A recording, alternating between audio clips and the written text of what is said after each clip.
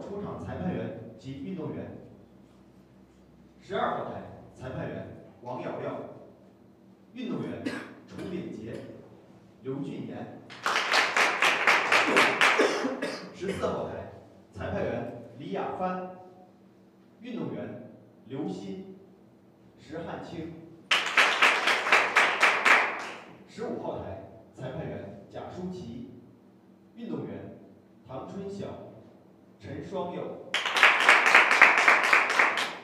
TV 台裁判员龙飞，记录裁判员冯雅琪、张晓舒，运动员张敦鹏、赵汝亮。现在比赛开始。赵汝亮你好，张敦鹏你好，请双方选手争夺开球选择权。听我口令，预备，三、二、一，开始。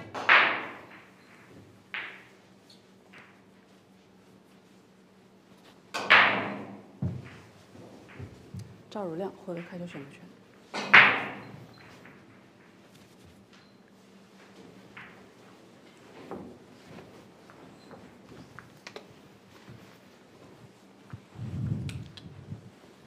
现在为您直播的是乔氏杯2020中式台球大师赛分站赛秦皇岛站八进四 TV 台的比赛直播。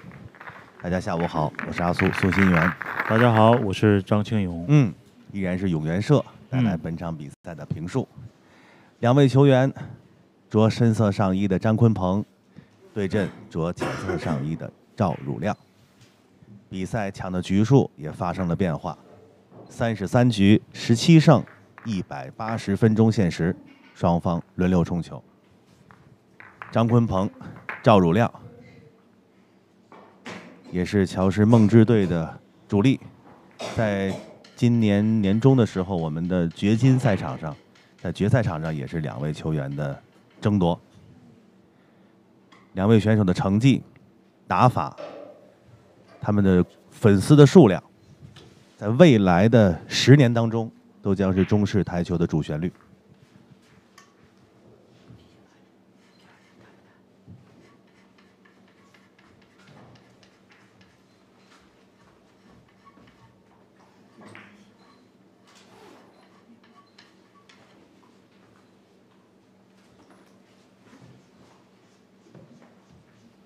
所以本场比赛可以说是一个准决赛的对决啊。嗯，比赛开始，第一局，赵汝亮开球。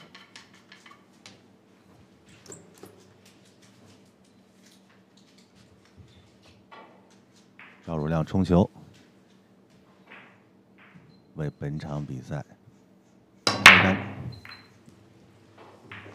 再冲球，好开球。前面的张鹏，我记得 TV 台表现呢，一上来的开始几盘还好，但是在后面比赛里边，张功鹏是炸球不太好。对，今天其实他本身啊，也是一个技术型开球比较不错的球员啊，或许那天没有找到一个特别好的开球手感。那么今天怎么样？如果两个人都能够有一个比较好的开球的手感，我觉得分差可能会交替上升。对，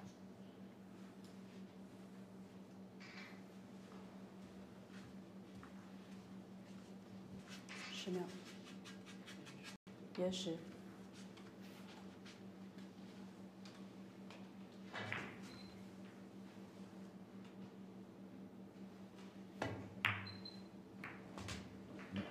看这一撞啊，嗯，右边中带这条路应该是闪开了。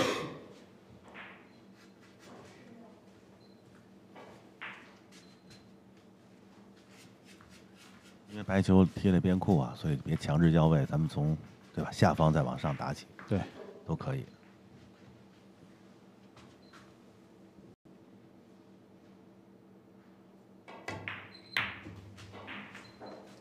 好球。现在有种感觉，张指导看赵汝亮打球俩字儿，嗯放心。嗯，放心。对，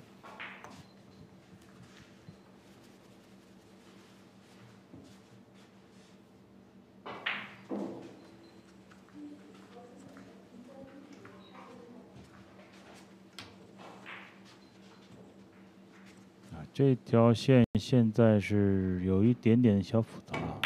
四号是一个过渡点，但是有两个球可以选啊，三一。你要打四一二三八的话，会有一点点小绕眼，但是也没办法，因为前面没有没有调好，前面没有说一下子把这个上面球完全处理光。跟着十五号这方向来，对，没有叫到二号球啊，三号再过渡了，就是因为一上来，二号并没有叫一个特别好的位置。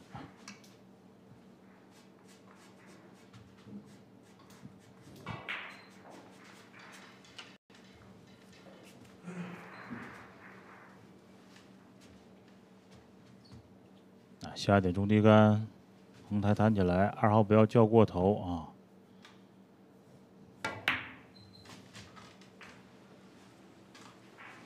合适啊，角度合适，这个球看方向啊，上不上库自己选择一下，这个方向可以。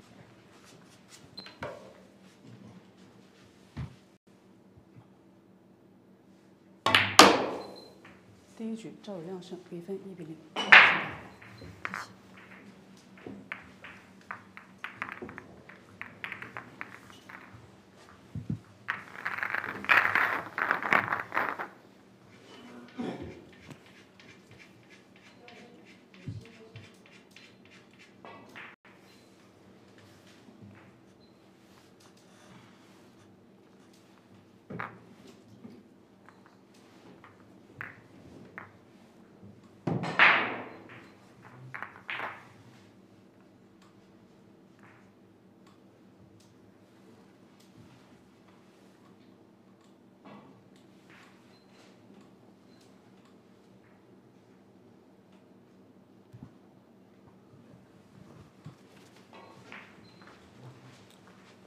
第二局张坤鹏盖球。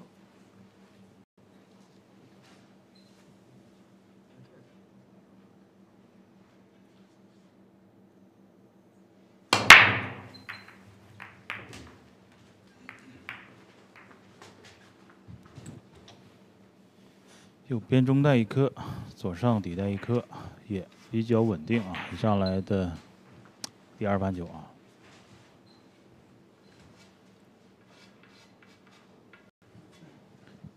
白球稍稍有点靠上啊，左边一个十四，这是一个双色球的定颜色的一个，打完之后右边继续有十二球中袋。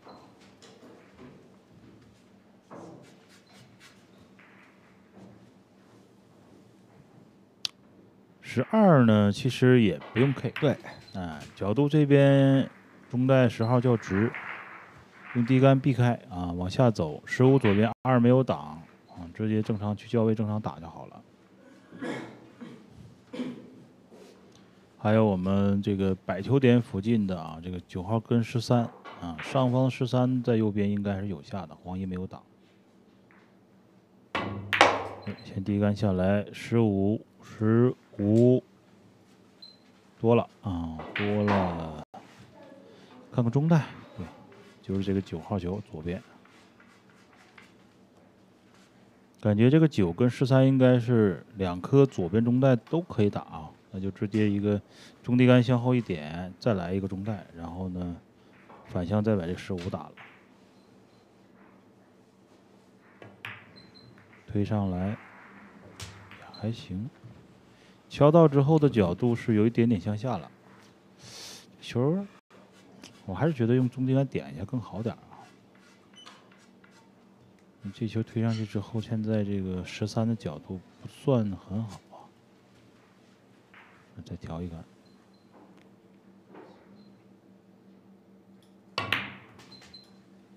又是一个平台，继续的较大了。就这个所有的球就在于一个九，就在于这个九的时候没太敢做动作，没敢用杆法啊，就是轻推的一个高杆有点求稳啊，后面心理上多少会有点小变化。隔壁台应该是楚炳杰那边是一比零。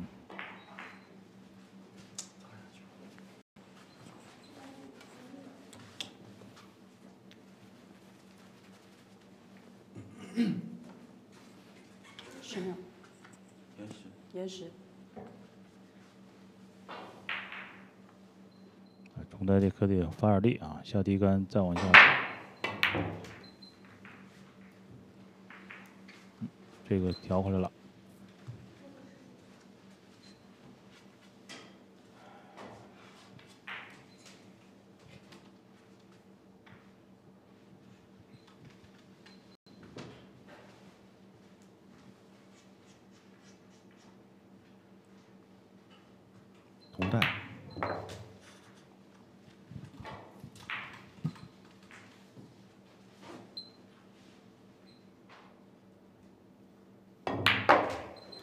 张坤鹏胜，比分一比一，开球形态。谢谢。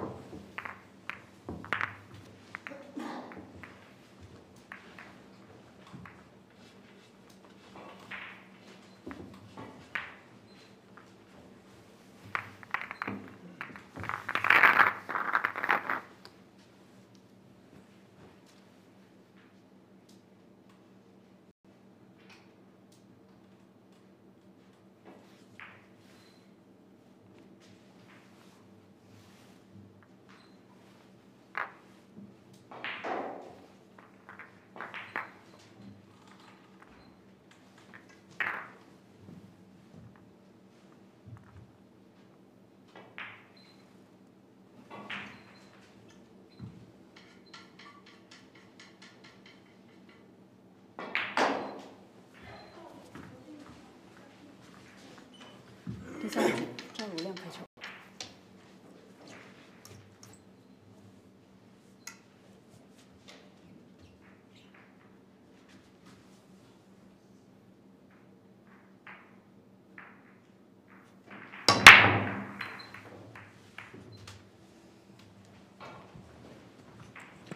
赵如亮继续的一个稳定的开球啊，白球的控制也是非常好，中袋有球下。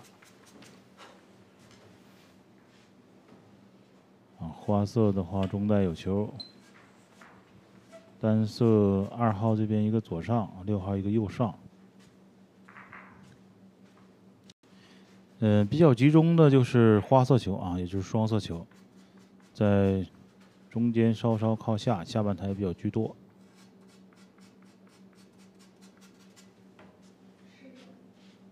而且互相是没有什么太明显的阻挡。一个轻打交位，右边看中袋啊。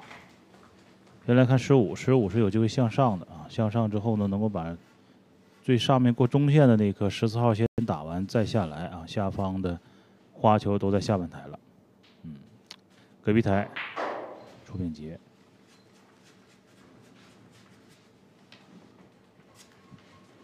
并没有啊，还是选一个横向的一个十号，等过来一撞，中袋刚好十二号球，反向再看九，左边有下，九十一啊，上方还有十五，那就以下到上吧，这样一个。从低到高这样的一个进攻，正好一圈啊，对，围绕着八号，没错，十二九十一，彼此都没有限制啊，嗯，那上方用十四往下来调黑八的一个底带就可以了，顺时针，对。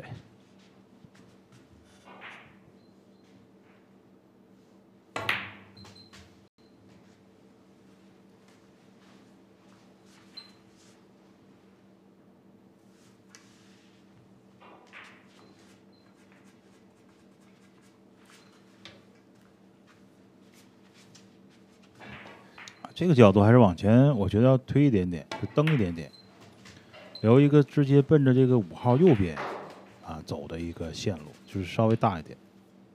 这种推杆最好不要奔着顶五或者是五号左边走。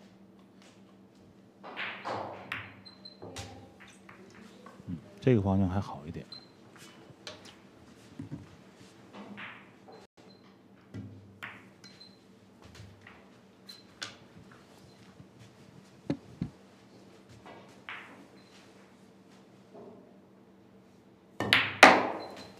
赵汝亮胜，比分二比一，开球请打。谢谢。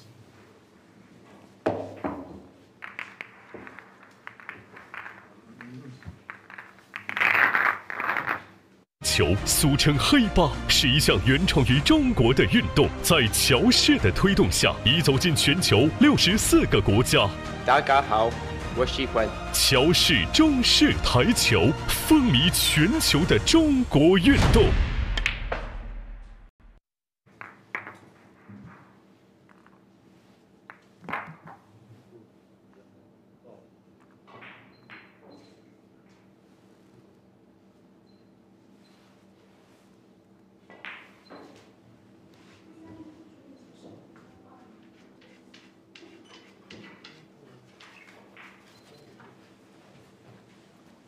第四局张坤鹏开球。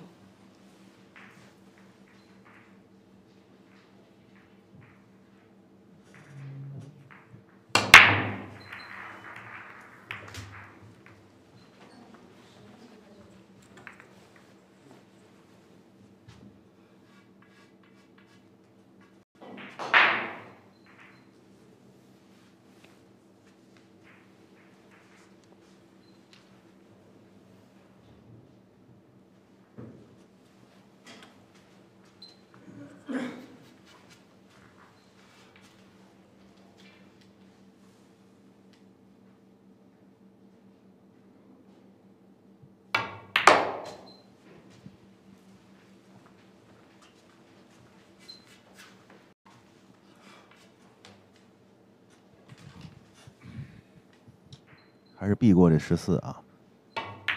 嗯，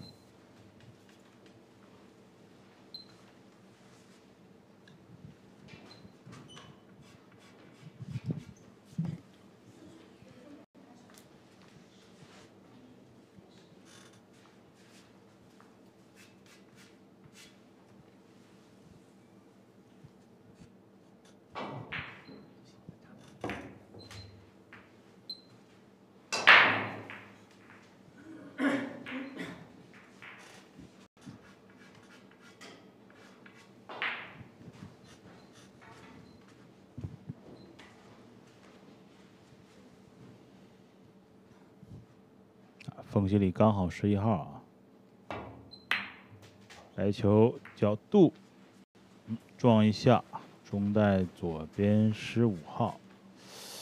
哟，这个球低杆横向的要奔着这个黑八下边走啊，是的，考验这个手感还有准度啊啊。，力量的掌控，对，分离角的判断啊，不能太低啊，中低杆发力横向较。你看看，首先是太低了，你看这白球已经叫到这个比下方这颗花球还要再靠下的角度了，已经啊，而且是打后了，对吧？打包的可能再好一些啊。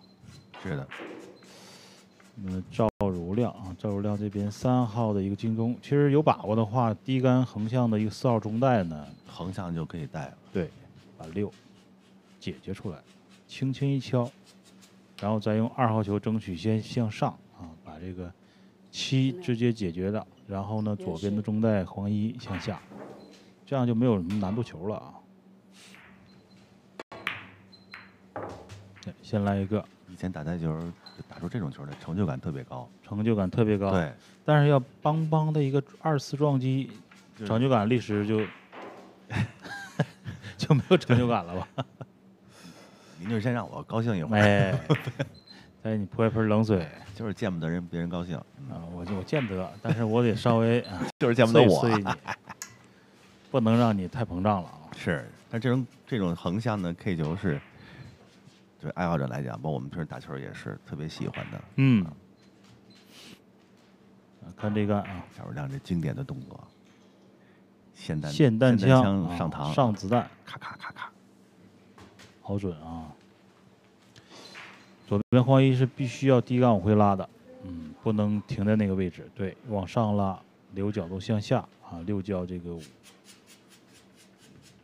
这场比赛就是一个专注力的比拼，考验两个人的开球和一个白球的成功率啊。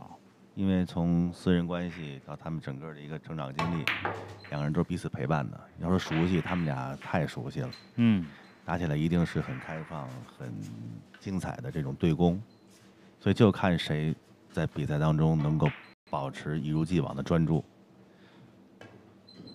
赵亮这一战打的特别有耐心，对，而且我觉得是源于一个自信，嗯，也就是他的白球和准度的支持。呃想到那个位置都能做得到，这个就很好。在这一两个赛季，也会有观众、球迷啊有一些质疑的声音，对吧？质疑他的节奏，啊，质疑他的这个打法。他心里，嗯他心里我觉得，我觉得质疑的应该是这个以前嗯头几年的事情？所以说，赵汝亮随着慢慢慢慢的成长，就像一个呃主人公一样，他的一点一点的升级呀、嗯一点一点完善。现在打起来，你看看这个，我们毫不夸张的说，他这个年纪，我们目前为止还没有办法看到他的天花板，他的这个顶峰啊，还有巨大的潜力。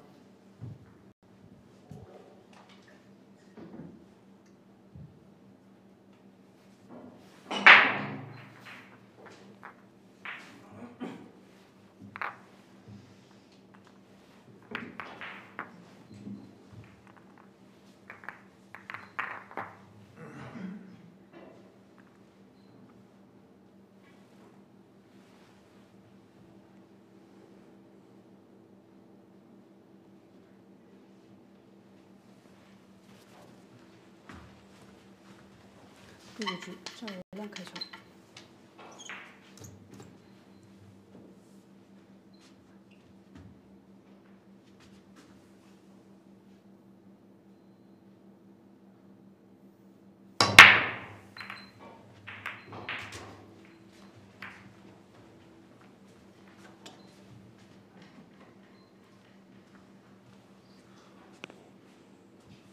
依然稳定的冲球，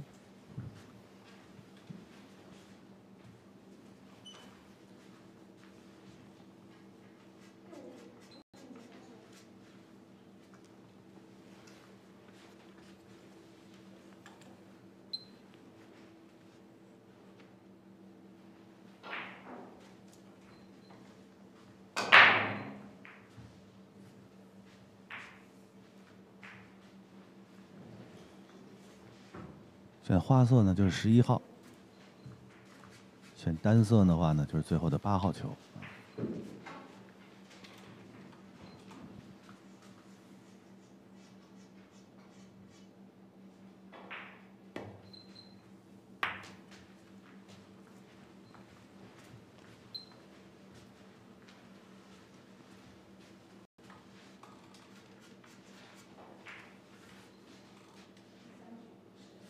看有没有想法？直接过来，稍稍的、轻轻的顶一下八跟十一的关系，有这个线路，没有选，那再用其他的调整。你过来看十一右边的中带啊，打的真是小心啊，严谨。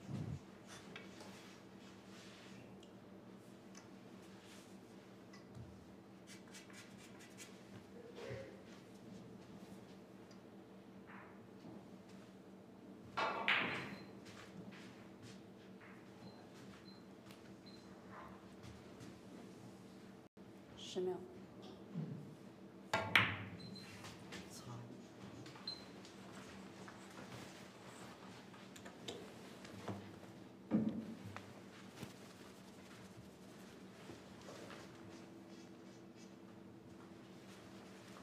可以完成最后的十一号就交位了。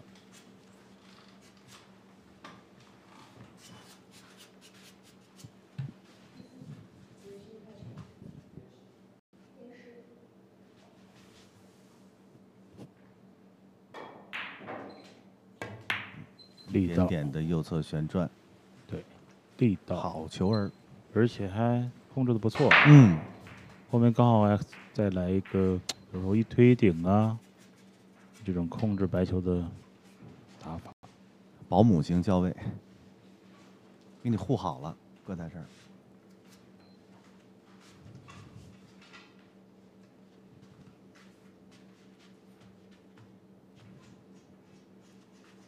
上子弹了。嗯，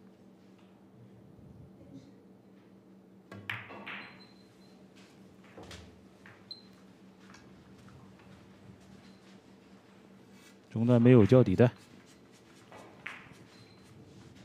看看左边，感觉上二号应该是有挡住一部分啊，不不太好打。你是低杆的还是推底裤啊？横台上来，稍多一点点也没事，准度还有一个维持。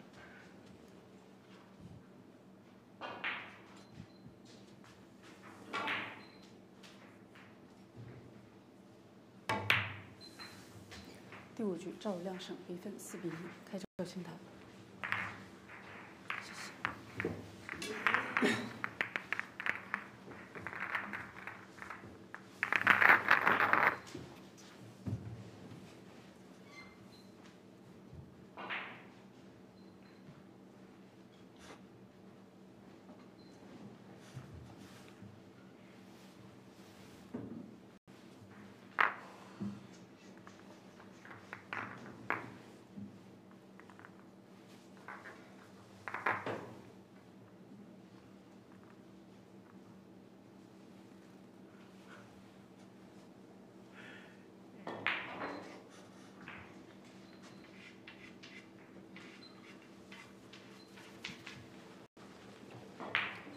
第六局张坤鹏开球。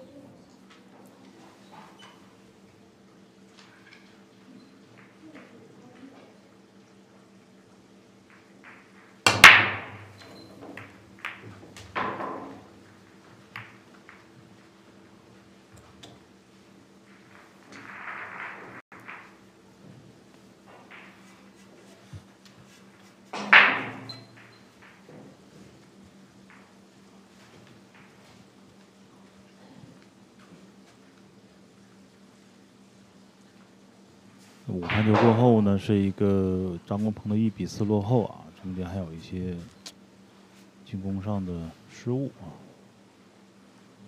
看看这一盘五号球，争取看这个白球的一个交位，一打一 K，七号球再开，还在走，看方向。能看的话，有可能就要打这个，因为这个最下面的。这一个七号球对于后面交位呢，其实帮助还是不大。看样子是多少可以用一点点左塞去打，还得用左塞走两库绕出来，一库直接走，看方向。三号球一个向下角度，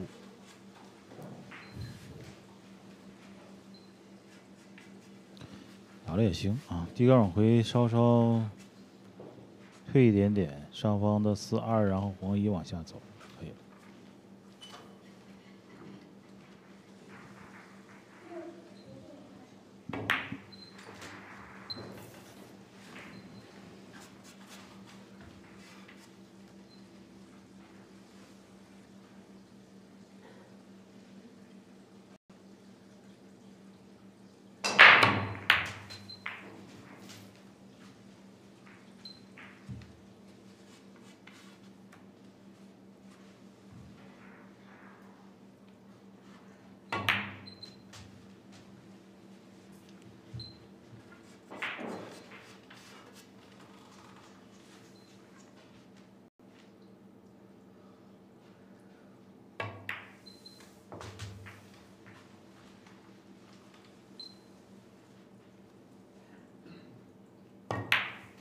第六局张坤鹏胜，比分二比四，开球清台。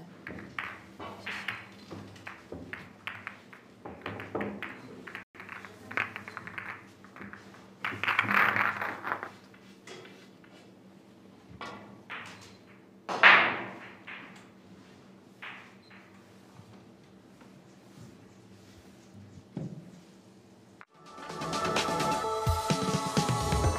九万级球器，中式八球领导者，乔氏荣誉出品。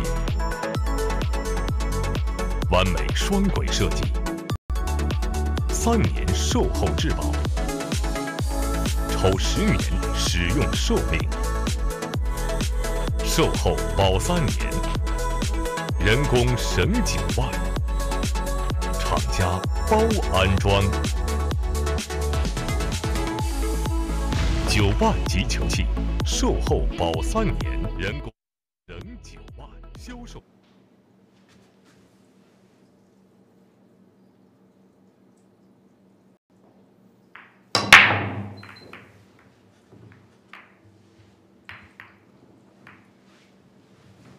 开球时机。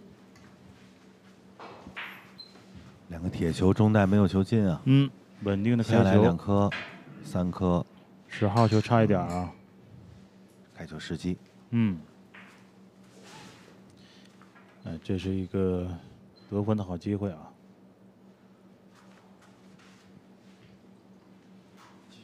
稍等。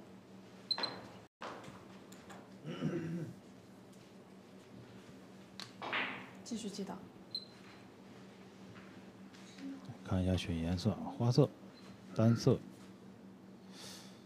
嗯，单色的话，三二这边有右边中袋的一个组合球啊，黄衣左上角，而且二三的上方底袋是没问题啊。花色上手就是一个嗯，在选球上的一个难度啊，九号。哎，现在直接瞄的就是一个组合，单色啊，三二。十秒。不冒险的。对，先把颜色定对，，再往下走点更合适。上库都能够把这个二三这边轻轻带一下。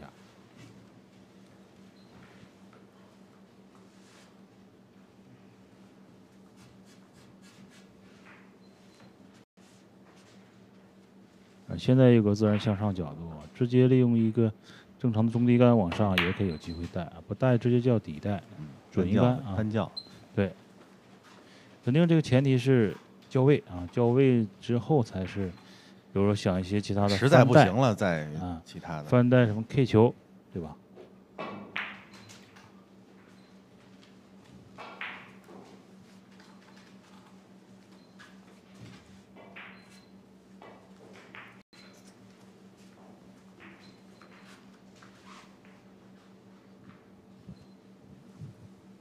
三号，哎，左上方三号，还不错。黄一是不是直接现在就来啊？这个角度和方向也还好，就手架这可能稍微要注意一点。准度这么好的选手，都百步穿墙了。嗯，对不对？墙在后我给你关了。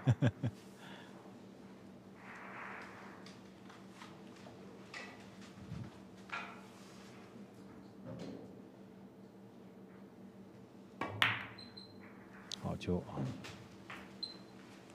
有好准度，能办成好多事儿。没错啊。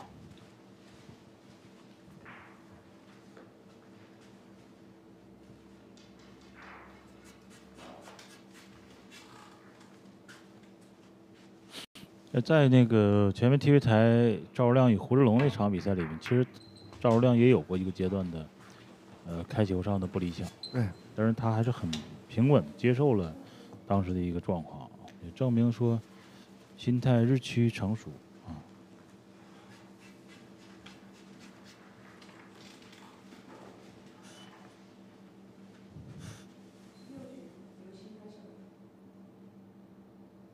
轻推，力量控制，绷带一叫啊。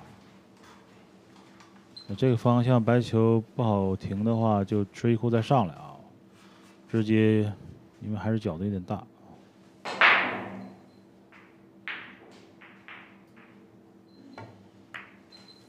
撞十一，还好，应该刚好啊。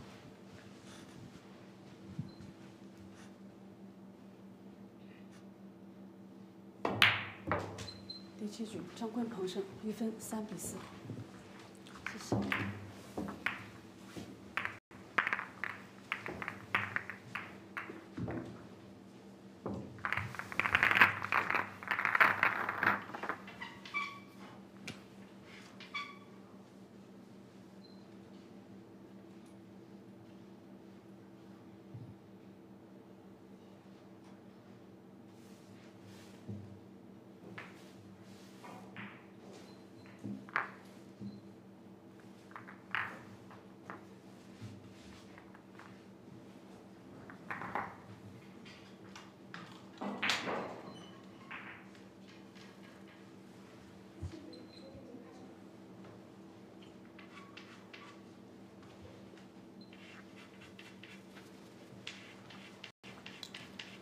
八局，张坤鹏开球。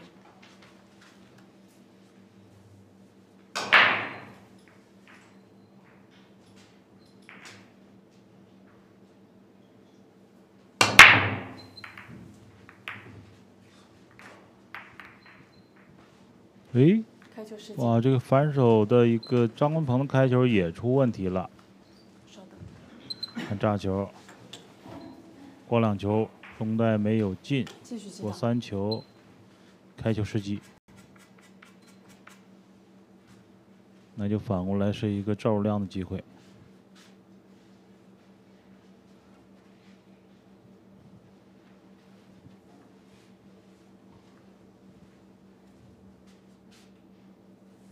啊，花色。单色因为左边的一个五号球中袋的位置呢，稍稍有些难度啊。花色右边十二号中袋也没有挡，嗯，上方就是一个十号球啊，在这个附近有个对方一个单色。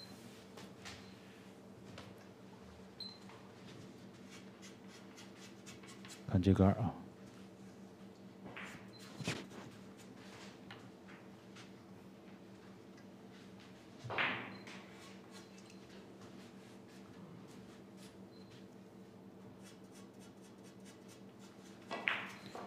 呃所有球虽然够打，但是这个进攻的先后次序啊，某一个球叫的角度还是要仔细的去考虑考虑的。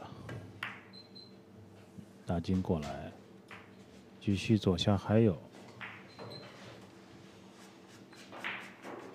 黑八是在这个直球点稍微靠上一点点的位置。很灵活的一个位置，嗯，左右的底带右上都可以衔接。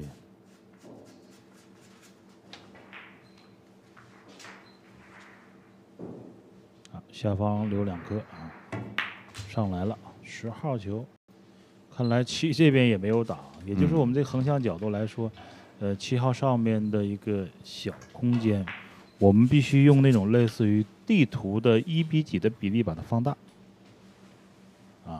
啊，现在感觉上是一个很小的中袋的口，但其实有可能是够打的。比如说现在这个四跟十的这个角度，啊，左边也有。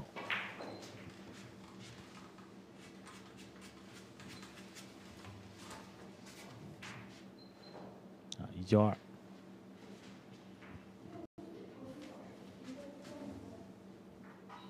往这个中低杆往下方中袋附近两球中间这儿走，右边一个，左边一个。教科书的位置。对，老手老是打杆杆教科书，你这怎么打呀？那不能 不能投了啊，真是不能投了。不能投，嗯，只能是自己说我们是聊天啊，我们是聊天，但球员是肯定要一杆一杆的啊拼到底。激发自己斗志啊，而且发挥真是好。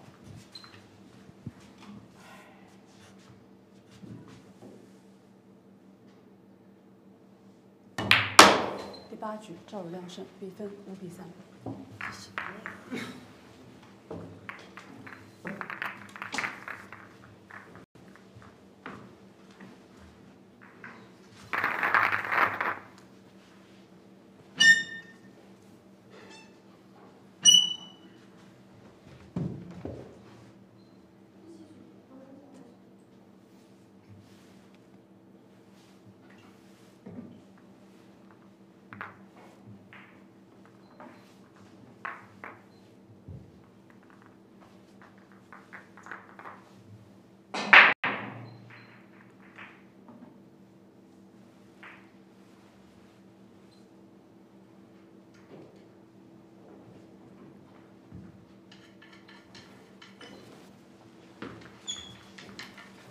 第九局，赵汝亮开球。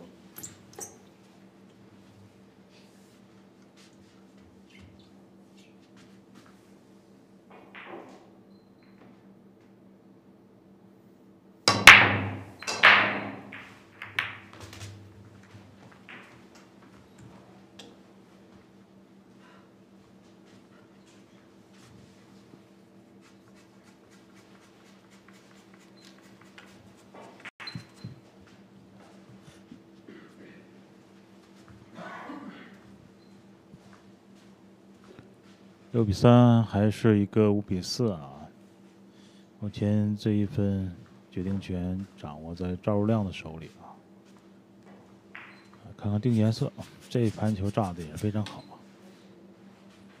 上来直接就是带口啊，十二号。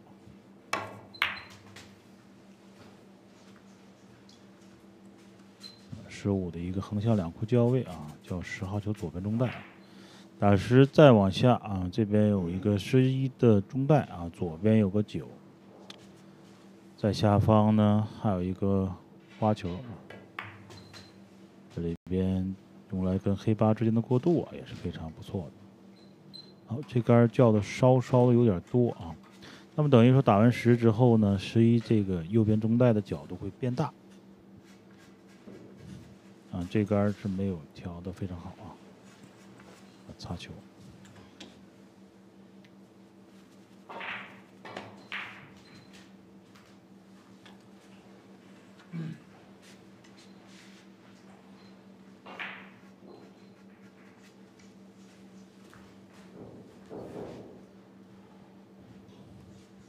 还是要尽量的调的稍微的正一点啊，也就是说不要调太薄。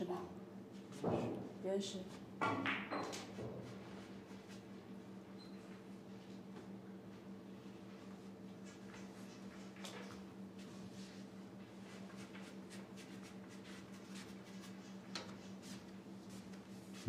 换了啊，直接左下方九号，白球啊，推弹一库，高杆起来，力道可以，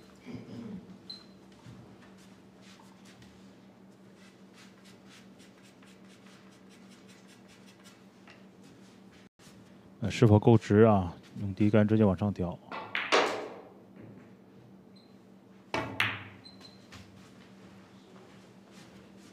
角都也不错，再往上走，呃，这时候就变成一个用最上方的十二球向下过渡黑八的角度了。黑八两边底带都有下，所以说这个十一要往上多调一点点，留这个十号向下角度，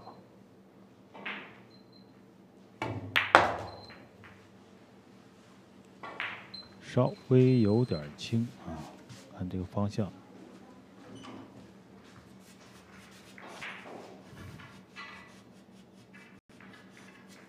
是否支持直接下来啊？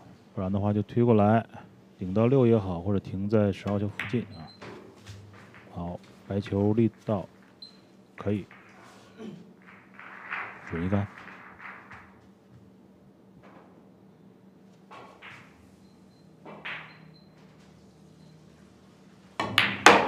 第九局赵亮胜，比分六比三，官方暂停十分钟。官方暂停了。判负一局。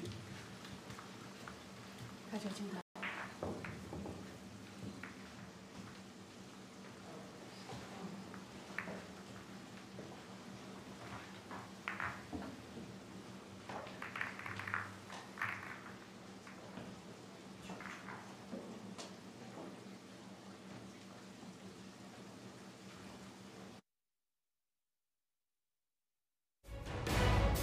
爆硬核，独具匠心，职业标准。野豹球杆专注打杆，赢家选择。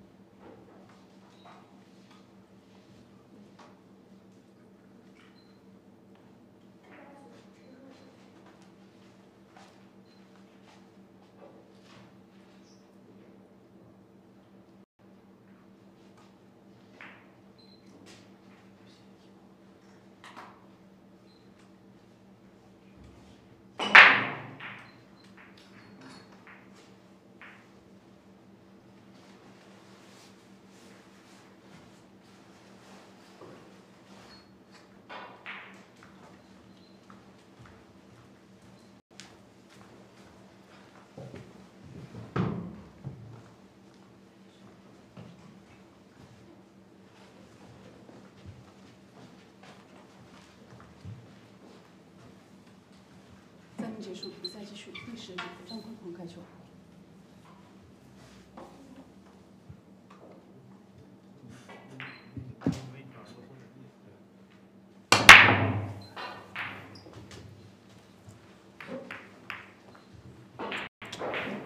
前九局张坤鹏是暂时三比六落后，嗯，可以说前面的比赛赵汝亮发挥是完美的，对，而张坤鹏在比赛当中呢，稍微在一两个环节当中有一些走神儿，或者说没有想得太清楚。经过调整之后，看看第二个九局，两位选手能不能够奉献出更高的水平。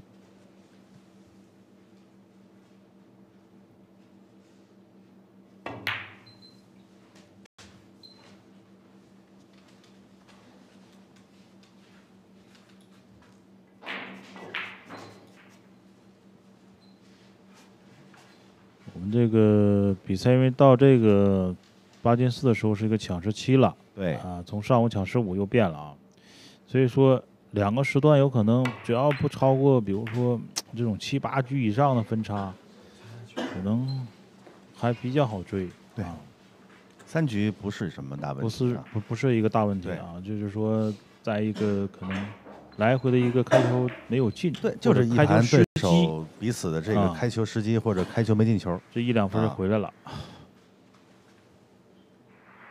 因为我们轮冲制嘛，对。啊，你对手开球清台，你这边没清完，那对手再清的可能就是三分嘛，里外里，哎，就这种球的失误，嗯，有点不太应该啊。是的，啊，这个不算难度球啊。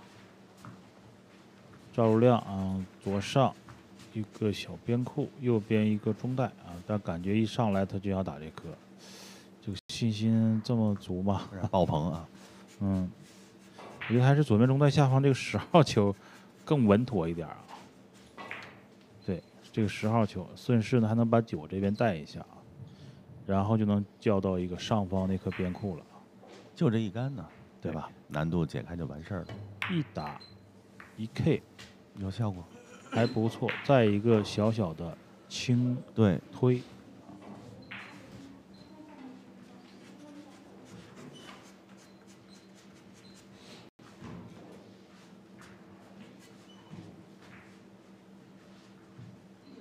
推下之后就上方一个带口边扣，然后右边一个中带的十四向下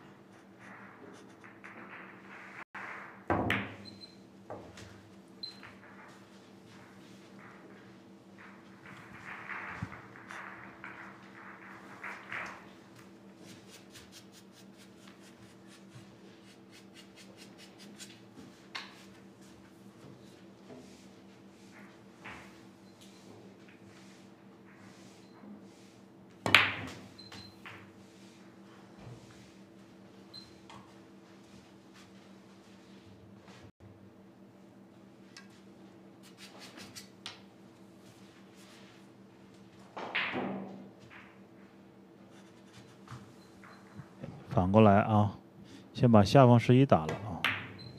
张坤鹏本来比分落后，嗯，这一盘是很好的追分的机会，对，现在很有可能右边这颗其实失误有点不太应该，这球。嗯很有可能就是给了赵汝亮在本场比赛第一个瞬间又把一个两分拉开身位的机会，对。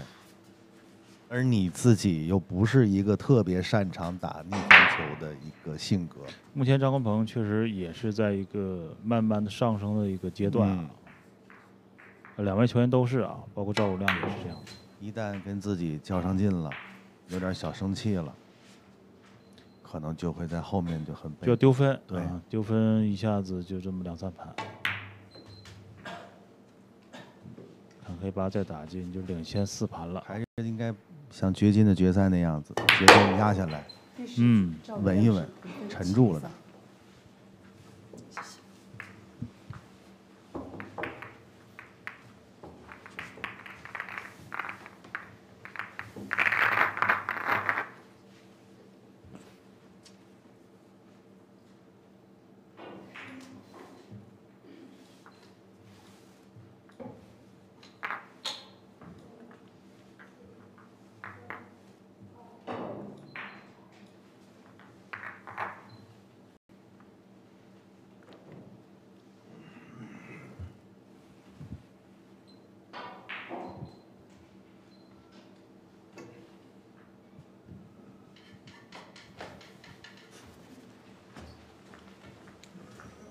第十一局，赵汝亮开球。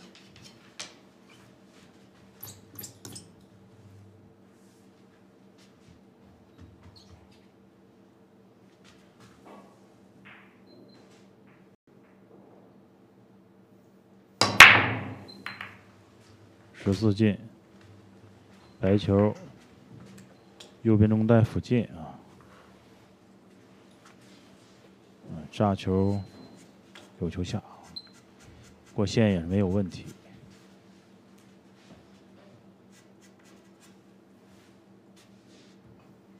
啊，定颜色要看下半台。啊，左下方有十五号啊，右边下方有一个六。单双色下半台的球还是比较多的啊。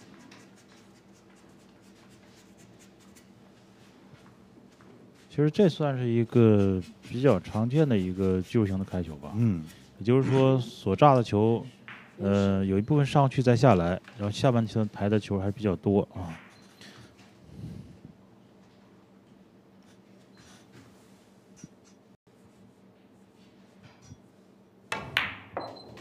嗯，低杆多了，低杆好像是多的，还不是一星半点啊。红三这边是目前看不到的。红三这个球太关键了，一打完之后黄一就活了。现在要反过来用这个，现在画面上方的这个中带的四号球再来调了，而且稍微探点深啊，轻轻一顶，这种小细致的控制啊，现在赵亮的拿捏比以前好好太太多了，以前不敢打啊以。前 方向上有，对，但是不一定 K 到哪个位置。这就是成熟了。像您说的，随着大量的比赛的积累，嗯，他这个线路储备进步特别明显，球也真是啊，不能白练啊。真是悟性也高。好，这杆继续的看这个，刚才左边叫过的那一颗啊，中带球，白球再往上走，三号，调回来，嗯，调回来了。来看看亚 K 这个黄衣的方向，这球不一定非要往带口 K 啊，有时候轻轻一 K 也行。嗯，是这个意思。他明白啊，你往左上 K 跟十号球相贴，就没得打了。对。就在这种局面下，能够保持一个冷静的头脑，非常重要的。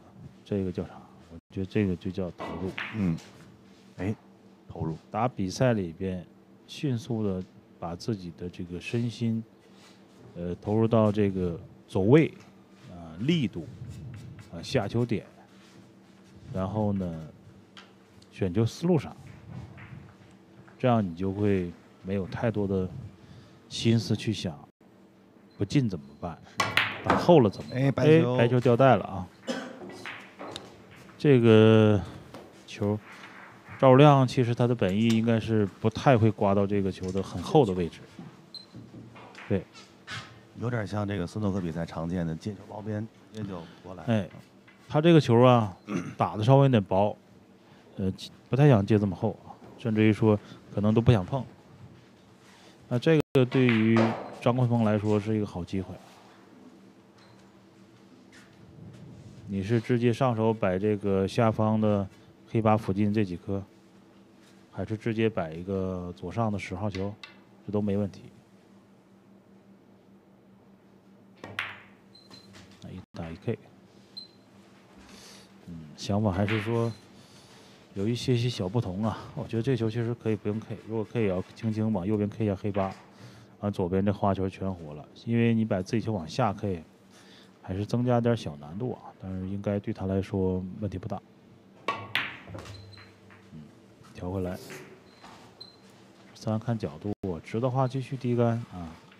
呃，想往上方多叫一叫的话，左塞用一点，啊，发点力。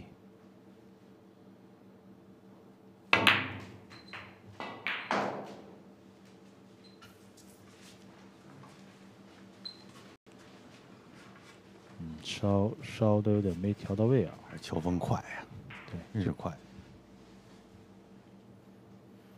没到再调，顶库左塞起，嗯，再来一个，低杆直接走了。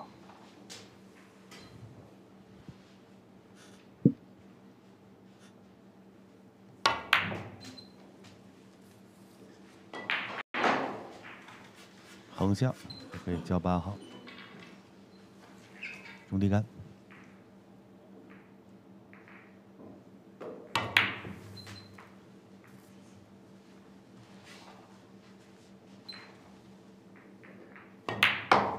第十一局，张坤鹏胜，比分四比七。谢谢。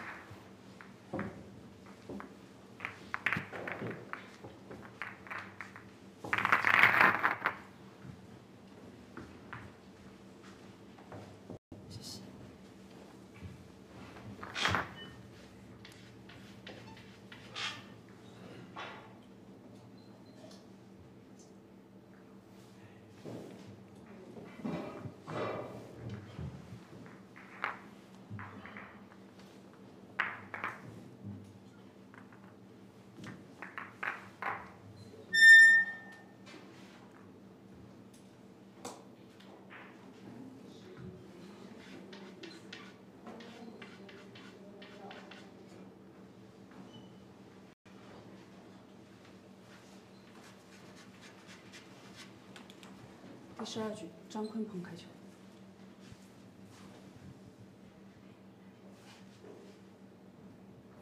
本场的主裁判也是以前参加大师赛的女子选手龙飞。过线的球，哇！两个中带，两个顶带，都是滑门而出啊！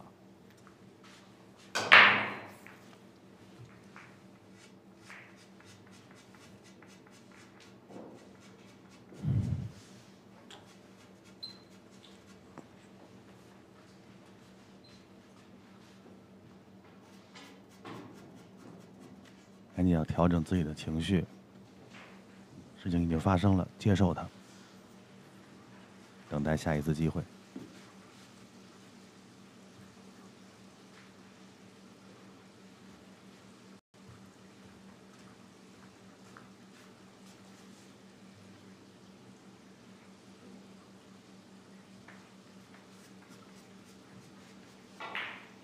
十秒。延时。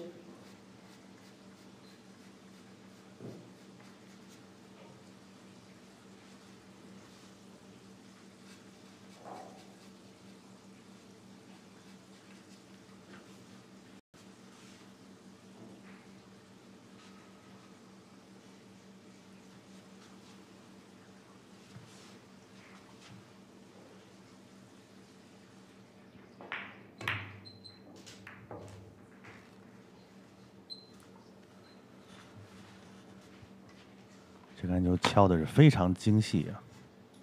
我们看这么一敲，十一号球左边左下方的底带啊，横向十五号就可以调整十一号的这个左下方底带。这一杆嗯，就把这难度球解开了，对，剩下单独交位就好了。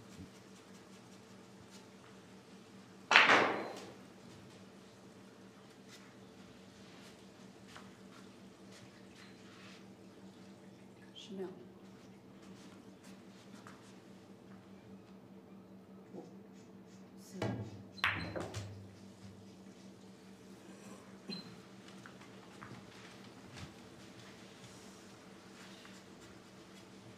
这杆球处理的不算太好。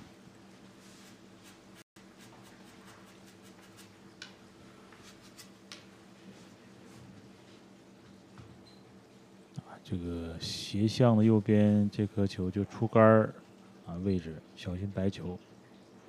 一打看要不要带一下，可以到细致的调整。嗯，这种球能力现在真的是比以前强太多了，就是在一个不是机会的机会里，然后呢，通过细致的一些控制，把这个局面再挽回。嗯其实这也是提高啊，登上来，看角度，虽然说有一个左边中带叫位的一个小失误，那调回来了。调回来了嗯啊。，直接奔带口球叫这个球，不用奔着这个中带的十号球叫。中带这个十号是一个很好的调黑八的位置。黄一没挡住，白球，哎还好，出了一半啊，嗯，刚好也可以去下一个左塞的杆法在里边。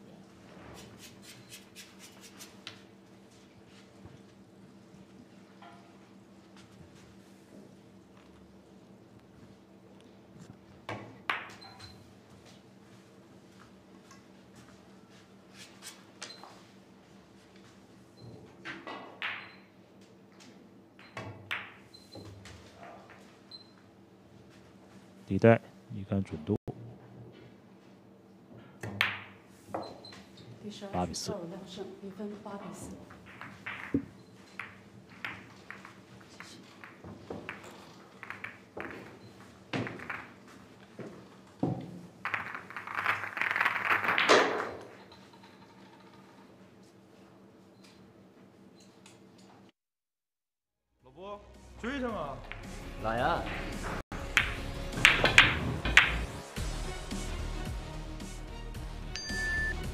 太平了吧？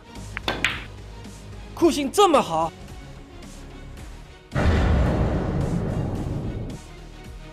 啊？追上啊！乔氏金腿追分神器，乔氏中式台球风靡全球的中国运动。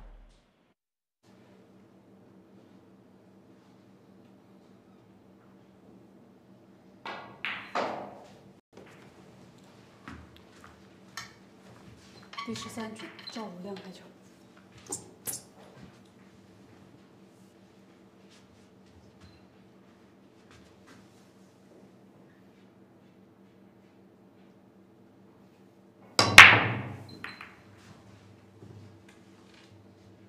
左上没有，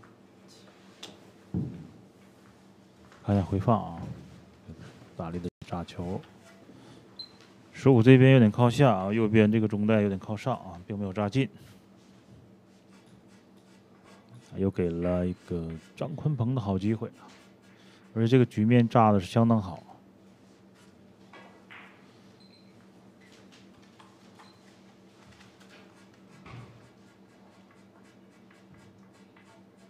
黑八呢，只要你选了一组颜色之后呢，下方底带啊就会让出一个袋口。花色左边十二号挡左下方啊，七号球是右下方啊，所以说这两组颜色啊哪一组呢都还不错。单色有一个二在最上方啊，但是这个靠库边的位置也比较远。花球，底杆往上走一走，那么叫到这个位置，直接把十四打了，然后呢，再把黄一右上方的这个花色十三中带叫到啊，左边没有挡啊，中带是有下的，带点低杆的左塞，控制好力量，稍稍的有一点点大啊，白球可以继续再往下调，十五左边中带有下啊，这没有问题，白球往下多走一点点也没关系。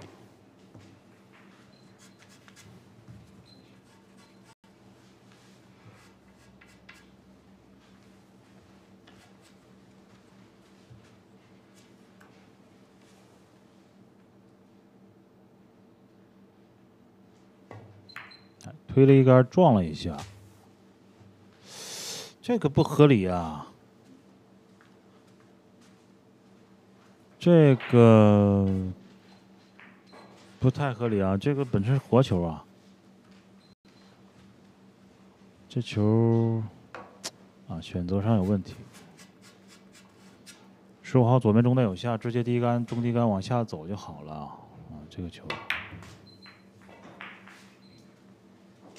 看十二啊，能否在低杆左塞两库叫一个十五跟十二同带啊？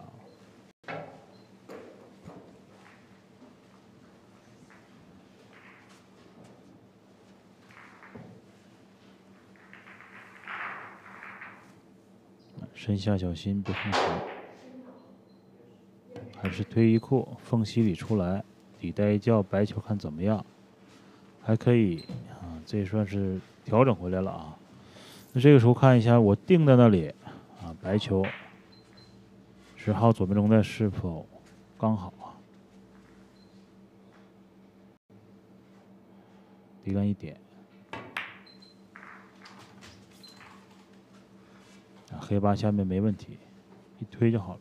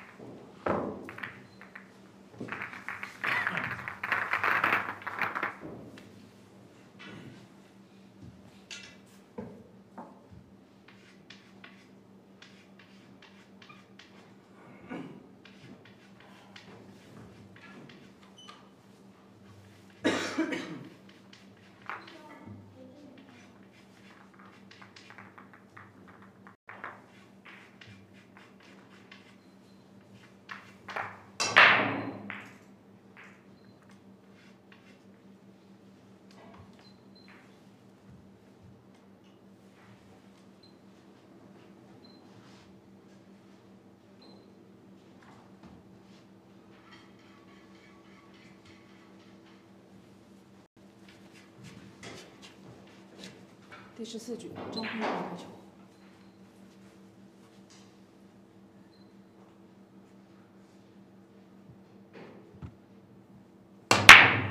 好，再来看张文鹏啊，二号进过线没问题，白球还可以啊。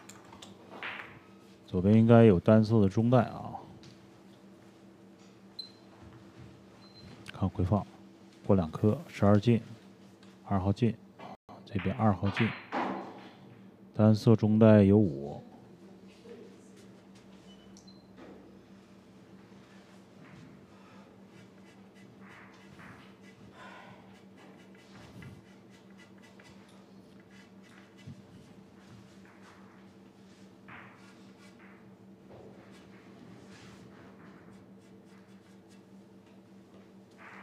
选花球的话，这个球还是要打十一的，用这个六跟十三封隙里的十四还有九啊，把这个花球下半台的问题解决。十秒。延时。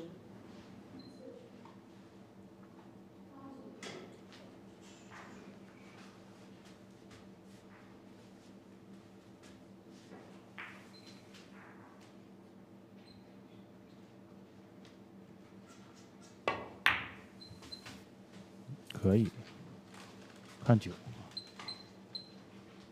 争取先把最下方九号打进啊。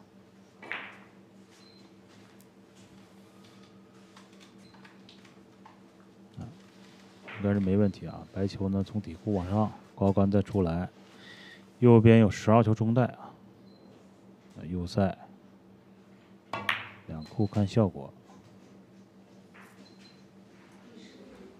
这个球可以推着高杆往前走，把十三向画面右边多 K 一点点，这样右边下方的底袋也是够下的。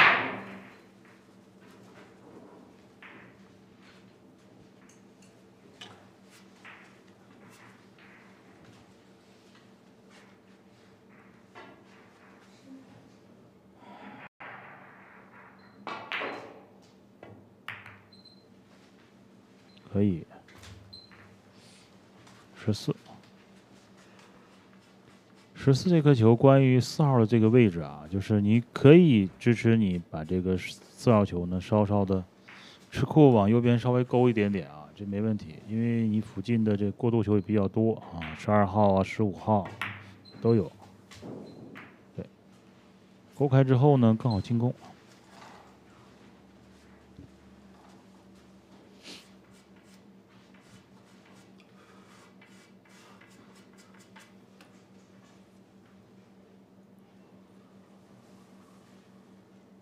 哎，看这杆低杆啊，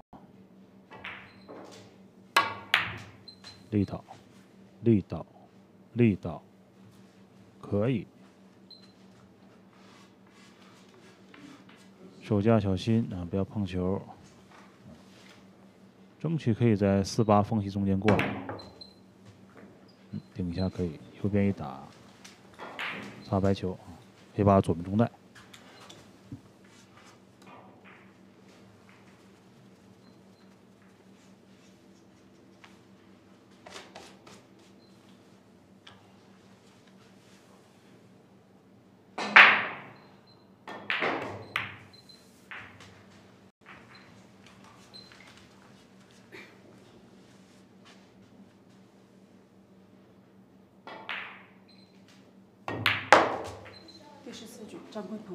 分六比八，开球现台。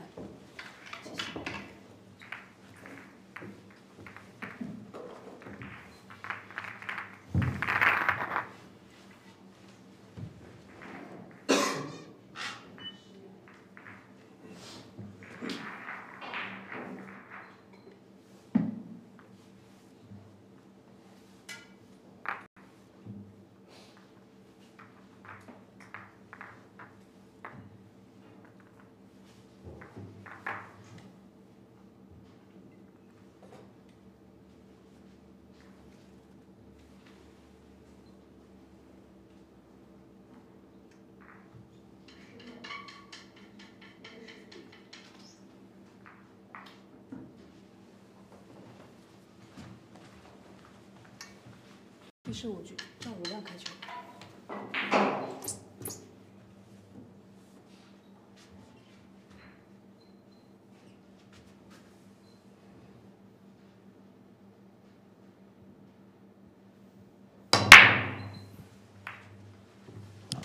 这边赵亮加力了啊，明显力量加大。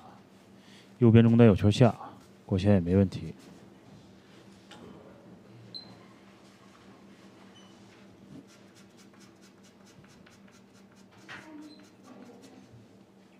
上方袋口啊，就现在画面左边，单色袋口一个五号啊，左上一个花色的十四，所以说啊没有问题啊，这个颜色没有问题。下半台的花球居多啊，五颗，而且是多少对于单色的位置有一点小包围啊，所以说还要看一下选球啊。选花色，那就打十四过来叫九，九号较直，往下高杆一推，再看屏幕的右下方的十五，这边来去做调整。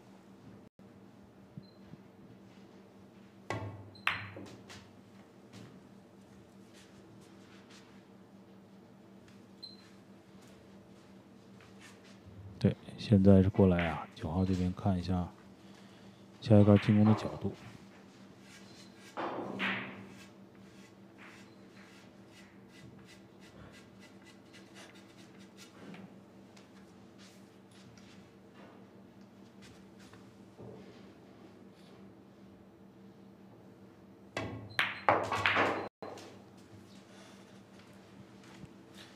小旋转啊，可以调了一个角度。对，较近一点儿呢，能够提高自己的一个进球率啊。对，在后面兵踢的这个控制白球啊，打起来也更自信一点。嗯，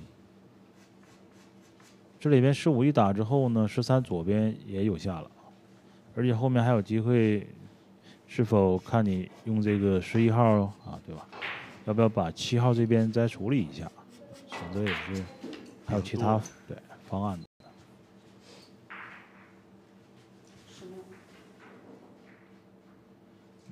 再来一个高杆，飞起来看看方向，十一来了啊。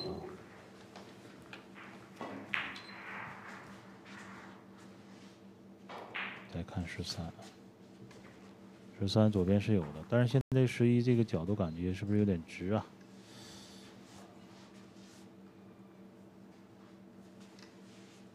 嗯，一点点向上，向上啊，只能用左边的嗯十号球打十再调一下对，再调一杆啊。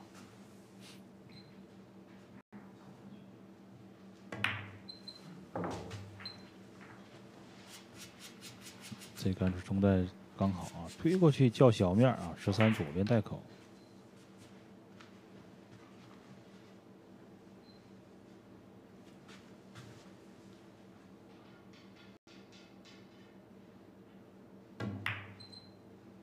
球。他这盘的次序会给人一种恍然大悟的感觉。刚开始呃，这样也可以。对很多人都会觉得，哎呀，是不是乱啊，对吧？拿哪颗球调啊？拆着拆着，逐渐明朗。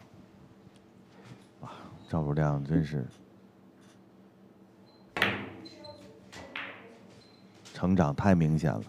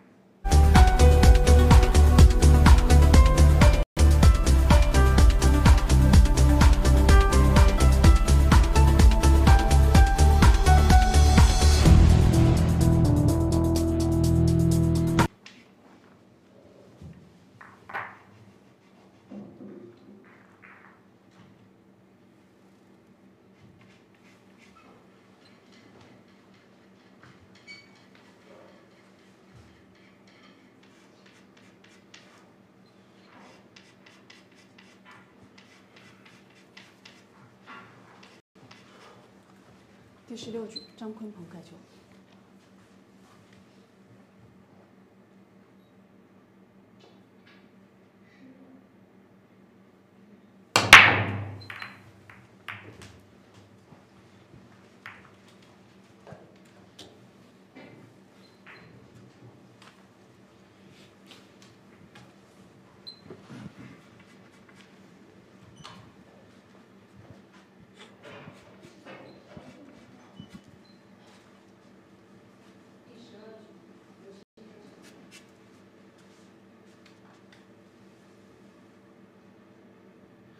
选花色球，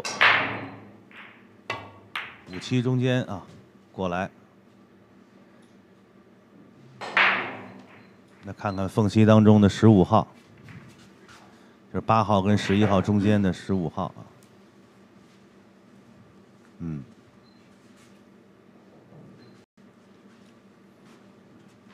能再调啊。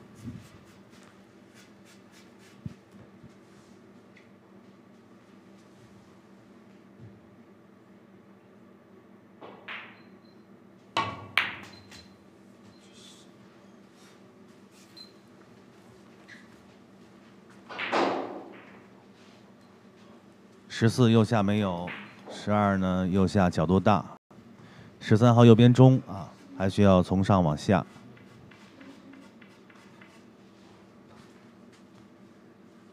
打十一号后斯诺啊，不是很好的出杆位置，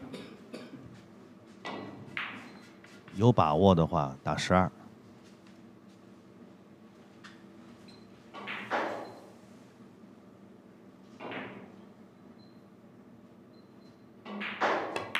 带一点右侧旋转，吃两脚上去，不容易啊！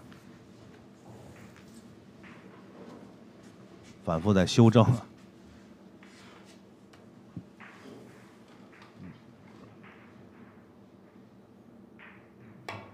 带一下六，嗯，行，好了，调回来了。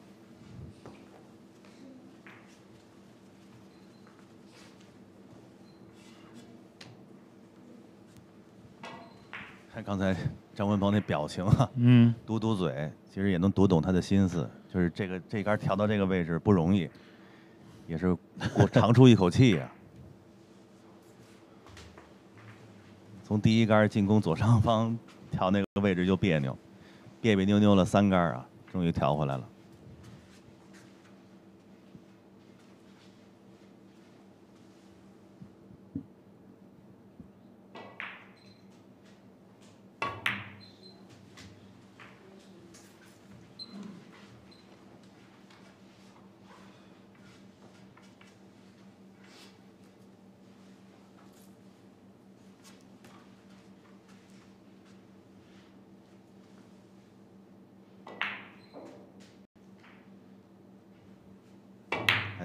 里叫同代。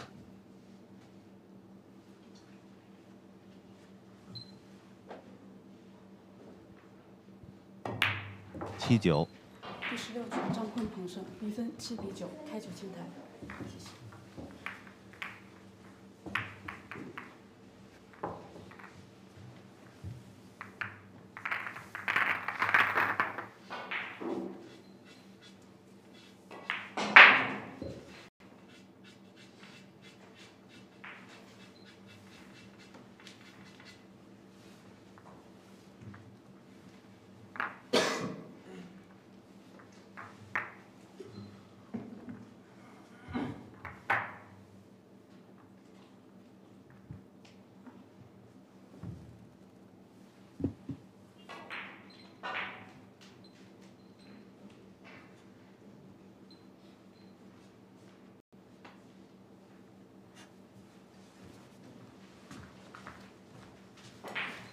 十七局，赵汝亮开球。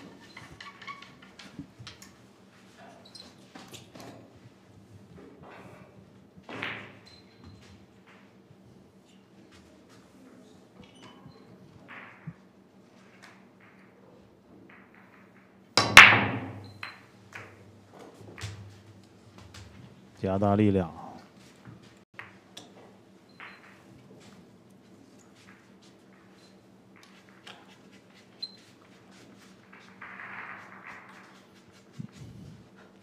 中带两颗进啊！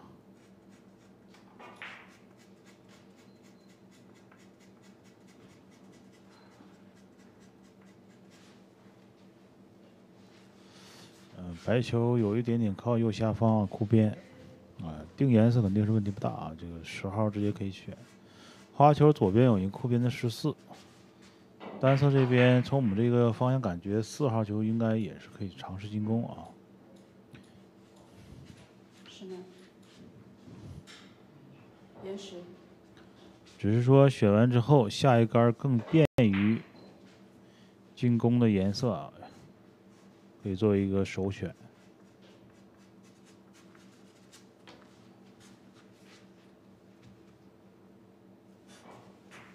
嗯，四号球啊，这个球要发力啊，从底库高杆两步上。好，白球走，顶到二，右边看红三，红三有下。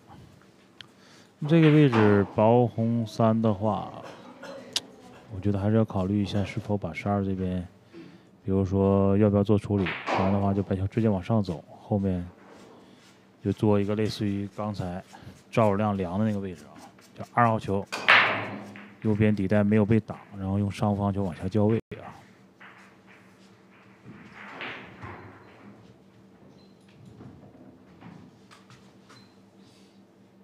调低杆了啊，白球往上走了，二号这边有下没问题啊。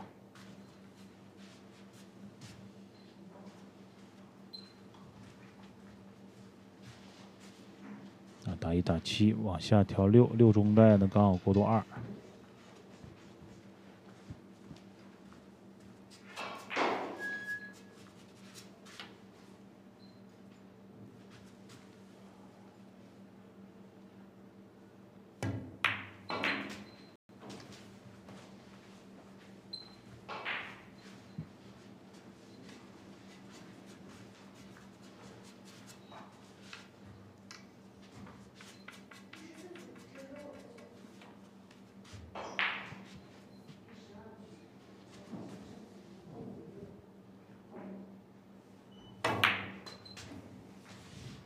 角度，好看方向啊，感我觉得应该还是可以说正常高杆往下走的，甚至于说左边中袋的边库可以弹起来，让白球跟二的这个位置叫的稍稍近一点啊。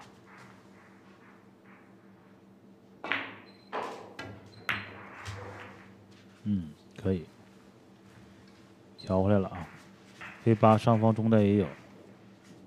这个位置啊，只要不出现前面那个低杆，直接拉进中袋就 OK 了。对，避免意外，不要拉多。比分率先到十了。第十七局，赵汝亮胜，比分十比七，开球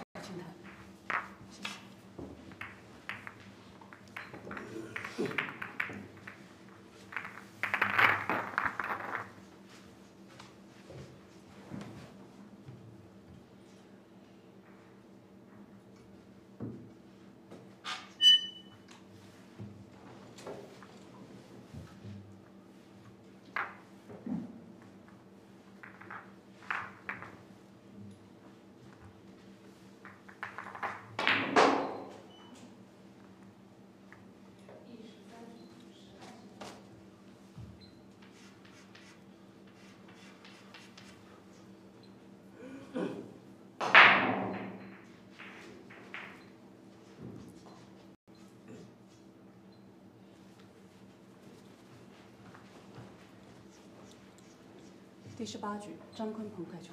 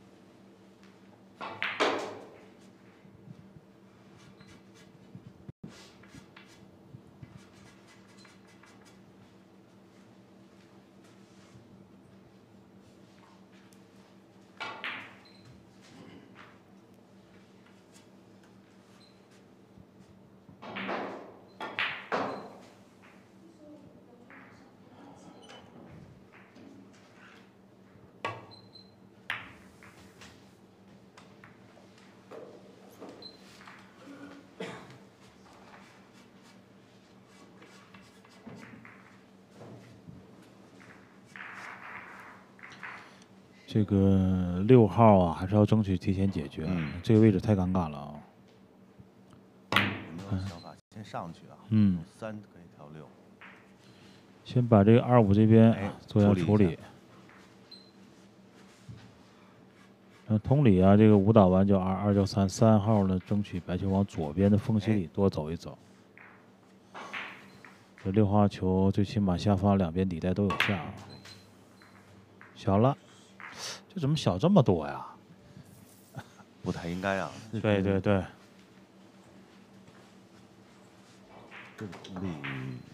失误或者有点低有点级严重有点低啊级啊。对。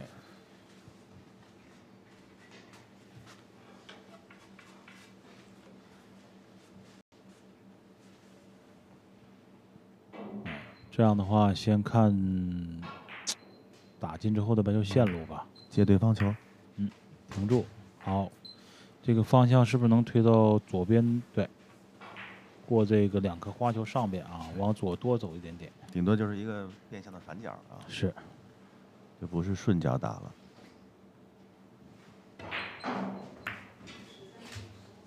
然后横向一出，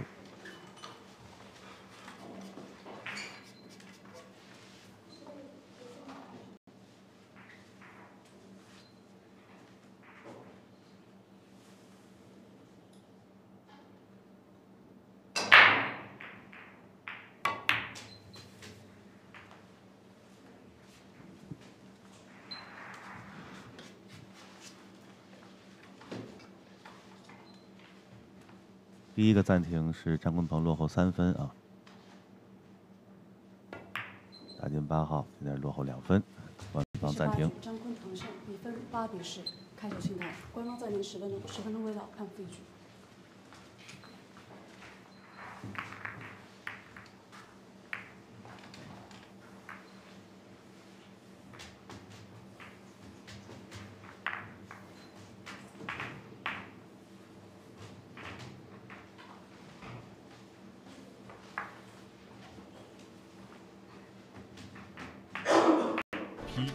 以一颗匠心，超过三十年的经验累积，全世界数百万使用者的反馈数据，懂球，懂力，更懂你。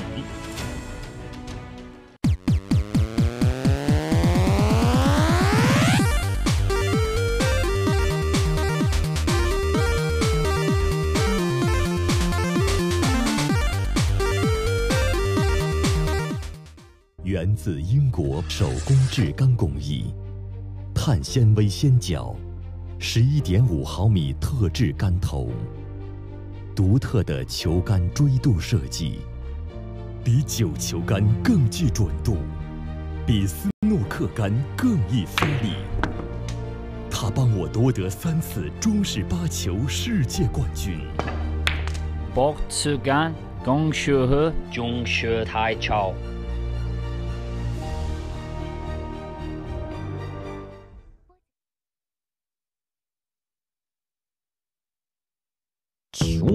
要省钱，就上蹭个够。原桥是两千家高端球房全球直采渠道，现对全行业开放。工厂直采，拒绝层层加价。球房要省钱，就上蹭个够。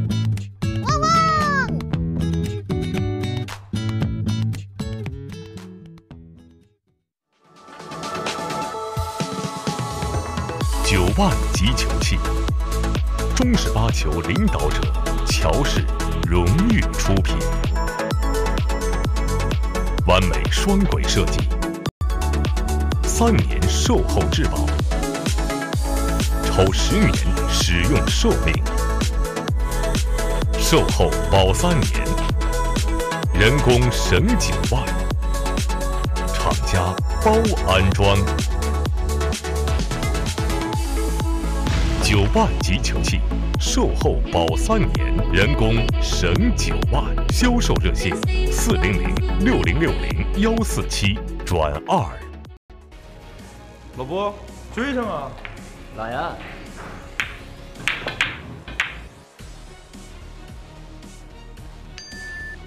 太平了吧！酷性这么好，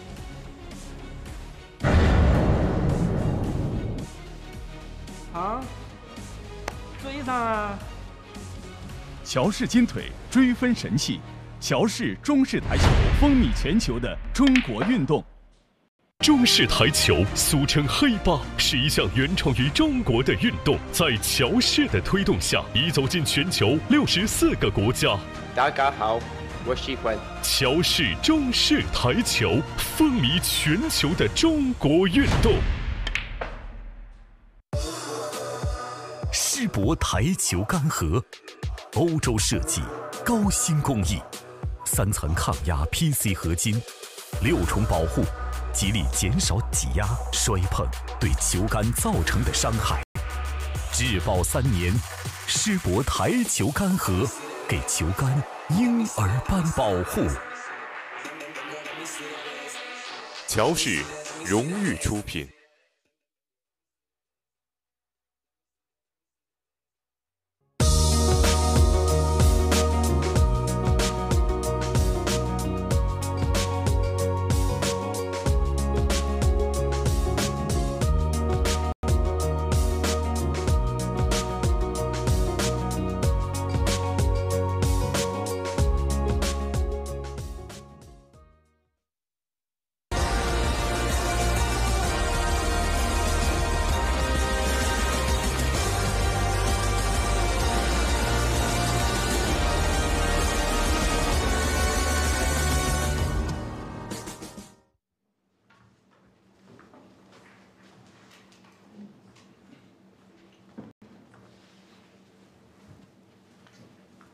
暂停结束，比赛继续。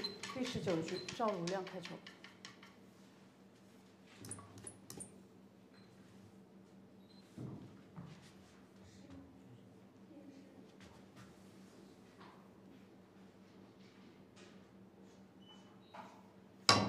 现在赵汝亮十比八，领先两分。嗯，咱们比赛是抢十七，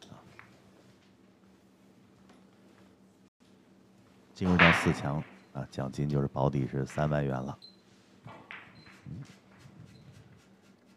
三 W 啊，现在的网络术语。那应该还有一个，我印象里好像有百分之二十的一个啊对扣税是吧？对对对对对。三万的话，那就扣六千，哎，真是，到手是两万四，嗯，啊，就是进前四有两万四，进前四两万四，对，嗯，跑去来一趟的这几千块钱费用，哎还能应该还有将近两万一样的一个收入，是也可以了。况且过段时间还有会外赛，对呀、然后总决赛对吧？来他个一百 W，一百 W 啊，一百 W，你说的要稍微再慢一点，在东北这就容易引起歧义了啊。W 不是大波溜，大波溜子这可厉害了 啊！这个大波溜子可厉害了。还记得这个第一届的这个掘金的总决赛不是掘金的这个比赛在别戴河的时候啊，然后我不是在自己的短视频的这个录了个段子嘛，里面就有这个啊，大波溜子，大波溜子。啊，杵子，答应给我的，好，到时候会给你。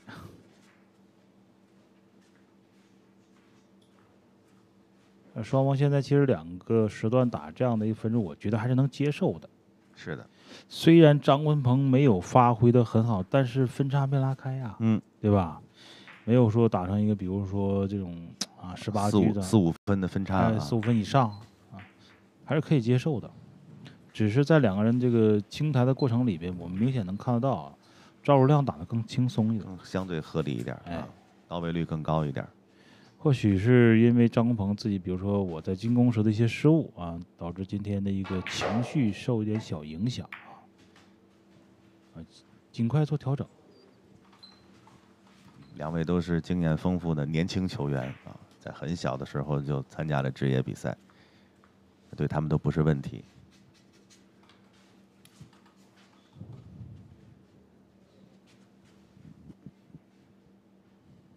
啊，是否需要顶十四？直接踢上去，漂亮啊！他现在头脑特别清醒，很清醒，我不冒这个风险，对啊，不冒这风险，顶一下，万一十四出问题，对吧？对。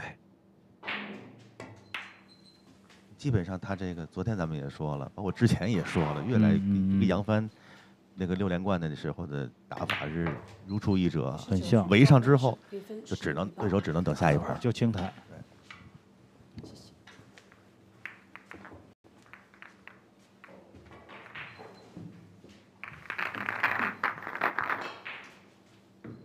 这十一分是七炸四接啊，百分之百的清台率，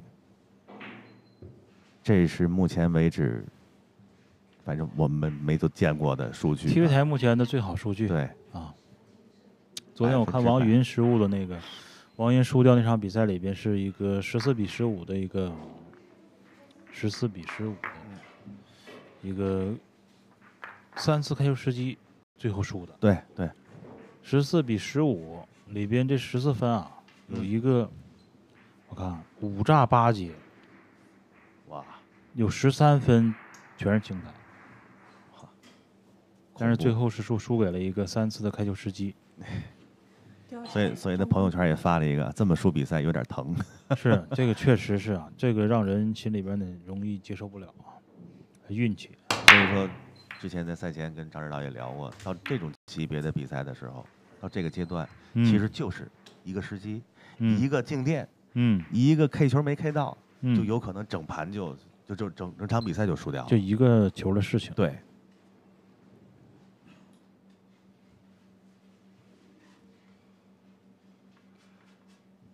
这十几二十年，中式台球的这个技术啊，已经发展到了一个相当高的位置了。嗯，你没有足，就是不允许你在比赛当中过多的失误。对，你没有那么多机会调整，对手也不会给你那么多机会去啊修正你的准心儿。是的。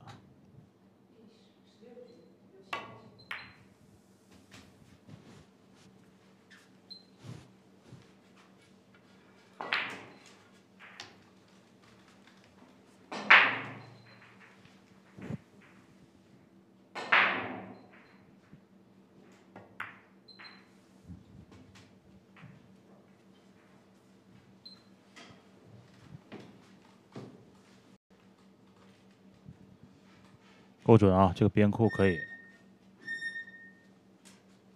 但是打着打着又给自己出个小难题。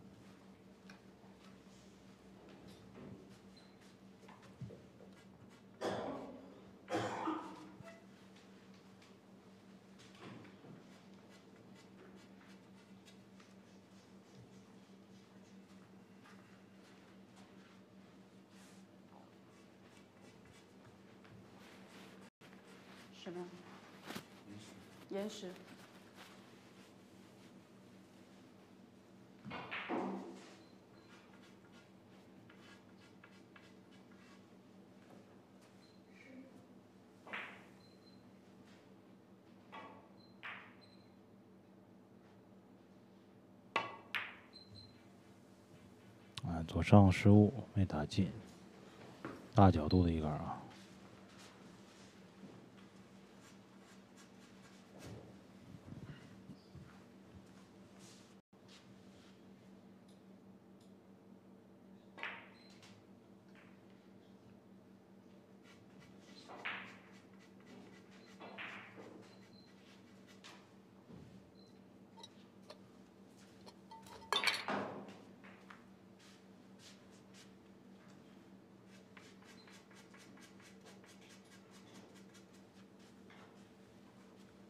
室内，延时。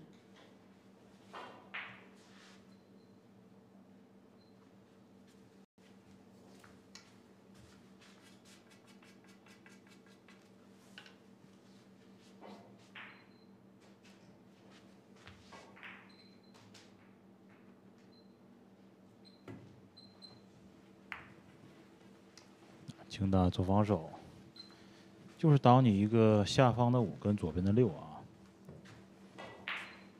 左下这个应该是看不到的。那黑八跟十五严密的挡住了一个四号球，上方红三你打发力的一个高杆，然后横向出来，争取调一个六号，还要留下一个黄一啊。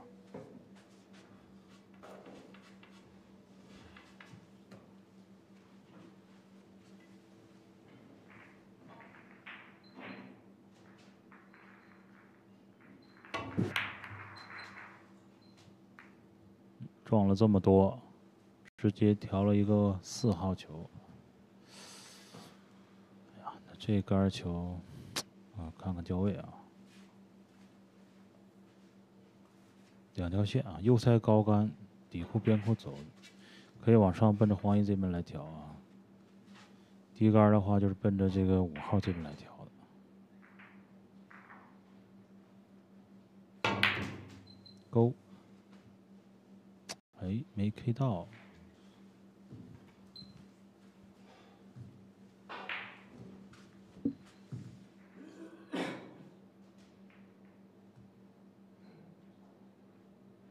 赵汝亮放了一个，虽然你能看到三，但是我就封住你上去衔接一号的这个线路，逼着你把过渡先打。对，啊，把过渡打掉，你上面这个黄一就不好打了。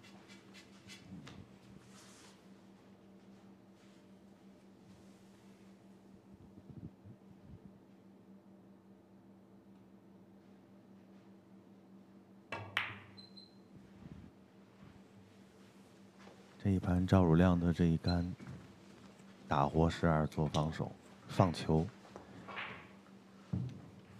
是一个经典的一个防守案例，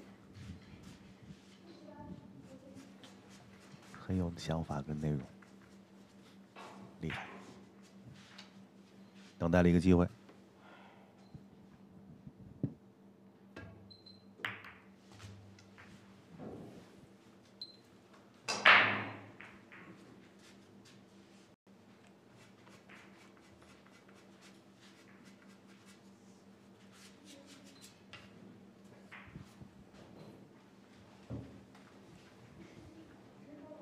刚才张坤鹏那表情，那潜台词就是有你的，跟我使套路。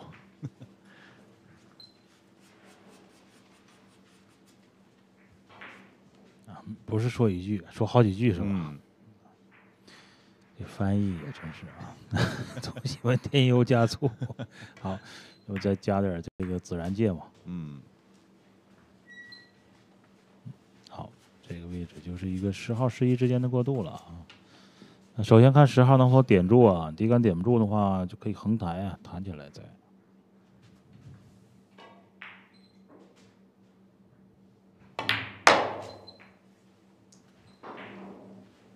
然后这个球中杆直接对往左边蹬过来。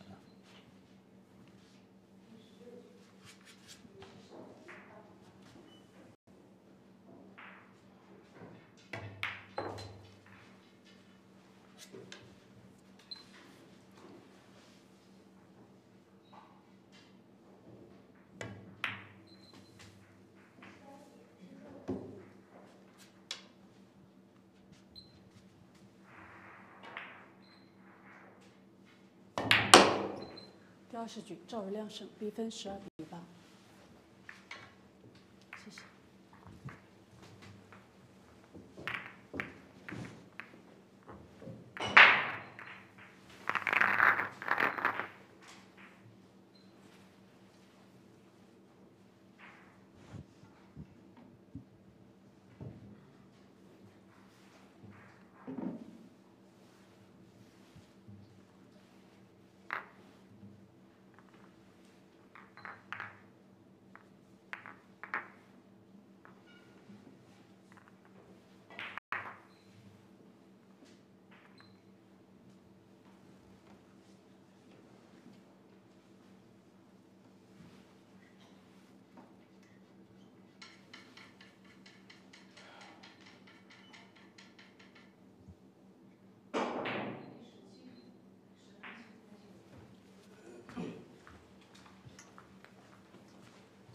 第二十一局赵如亮开球。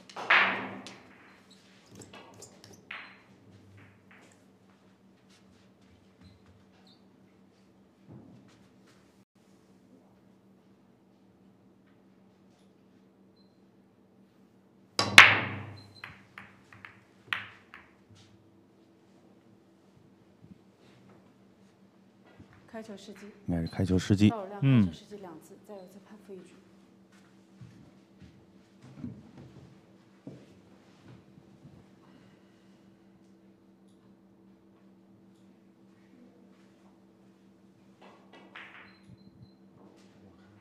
重新开球。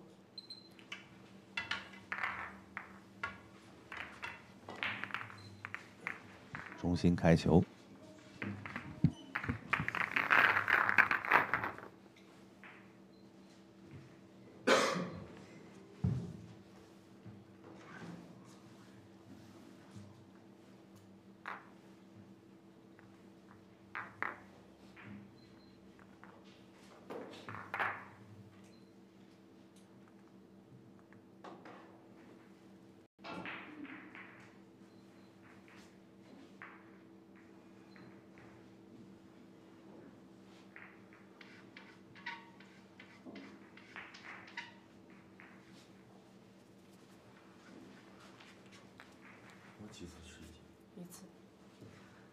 十一局张坤鹏开球。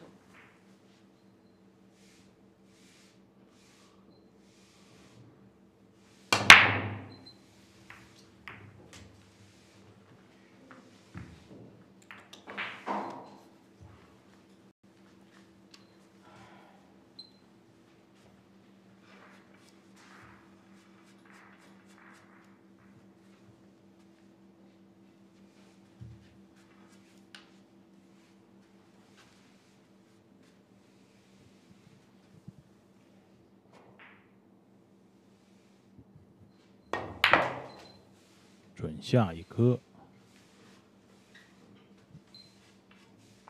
啊，带口一个十三，十号右边没问题，中带两颗，九跟十二，再往上啊，右边。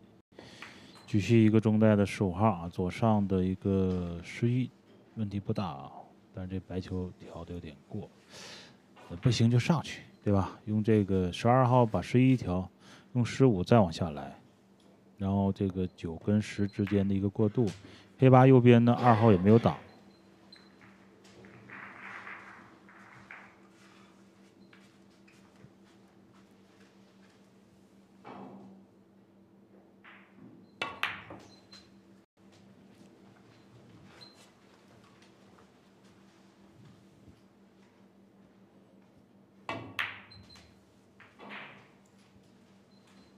底带一打，中带一打，黑八没有挡的话，直接就正常的进攻啊，正常交位。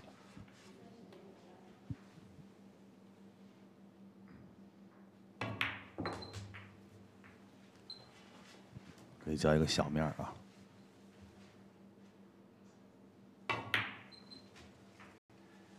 连中单。第二十一局张坤鹏胜，比分九比十二，开球请台。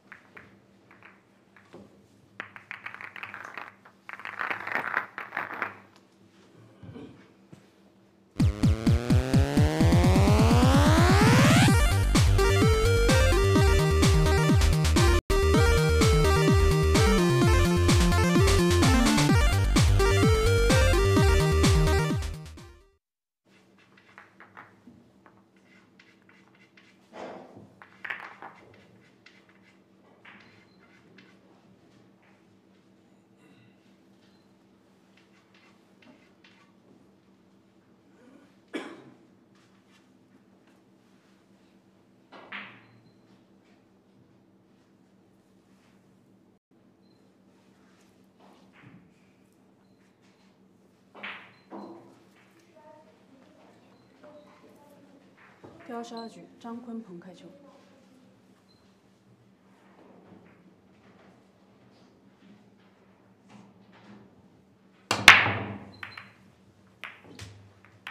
哎，再回来看啊，张坤鹏这边啊，开球有球下，哎，白球上稍微运气有点差呀。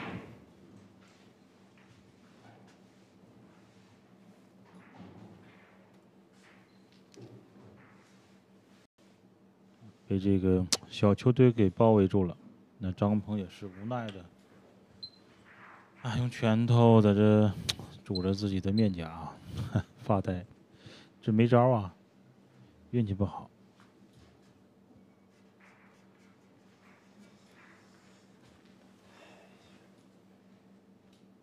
还要碰到球，并且要做防守。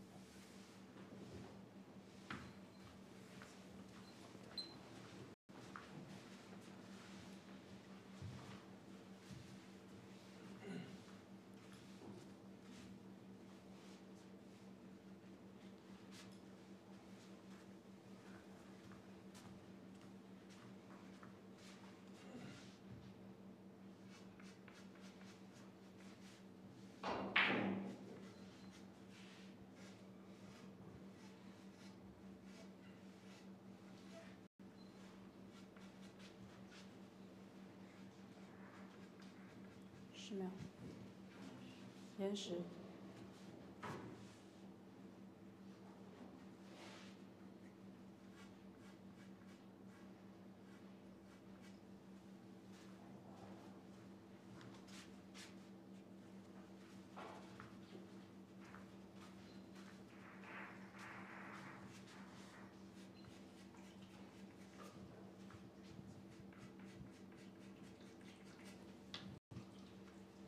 十秒。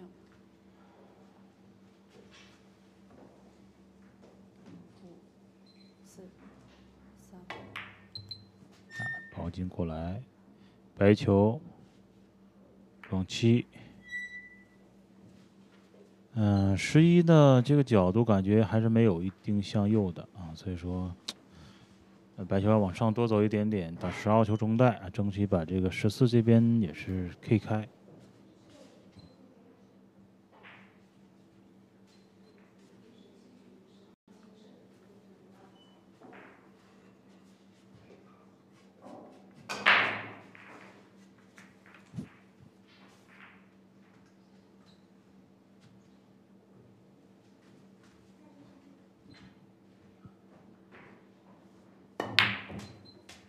够准，但是白球往上蹬太少啊，蹬的太少了，十号没有向下角度啊。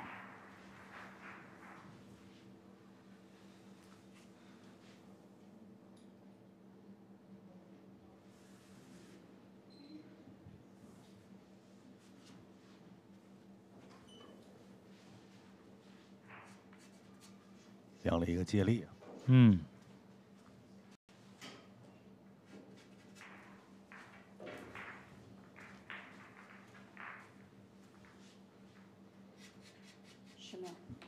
接力风险比较大，不到万不得已，不会轻易尝试。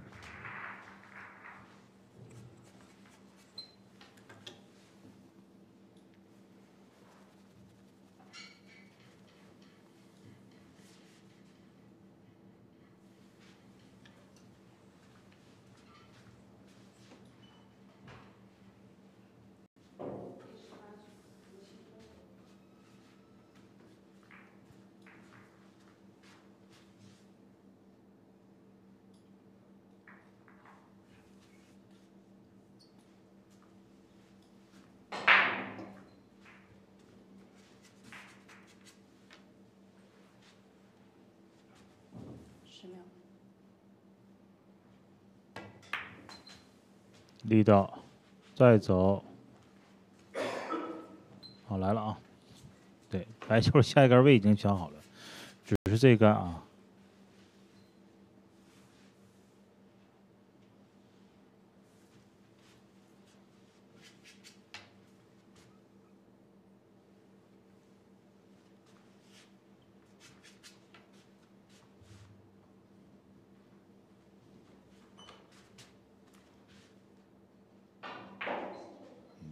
很关键，嗯，一定要精细啊，加个岩石都不怕。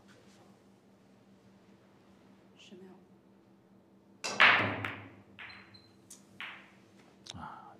这颗球再厚一点点就 OK 了。嗯，其实这个球啊，已经能够看出来赵汝亮对于中式的理解，有些地方已经是高别人一定的这种高度阶段了啊。嗯，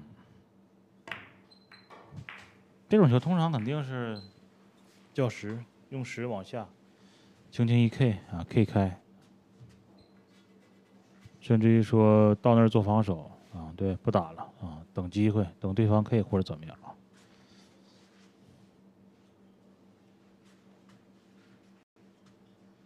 往往就是在这种大家看似没有机会的情况下，对，可以把这盘球打光，这个就是一个理解的高度的问题。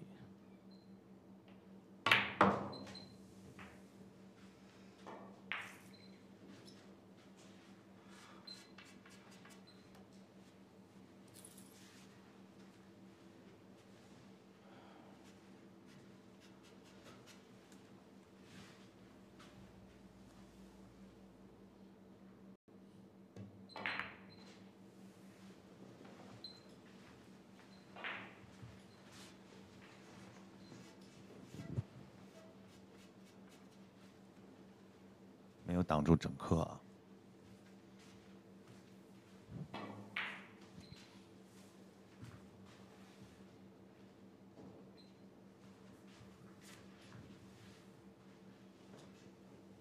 还是在量接力。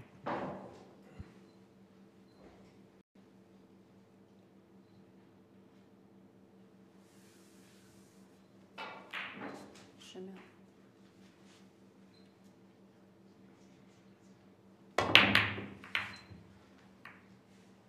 哎呦，这黑八太危险了。比赛时间已过半。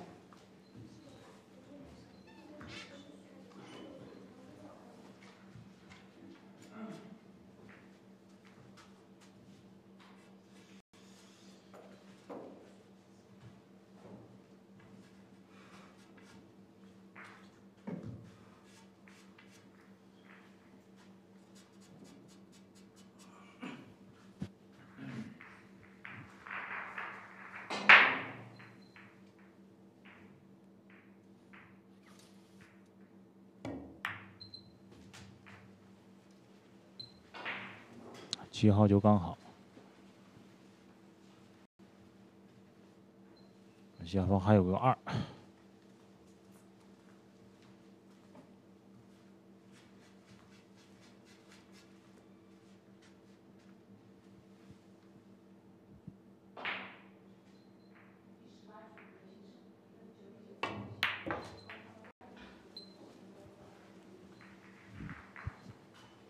八号球后面自然可以用上方球来去挑中袋啊。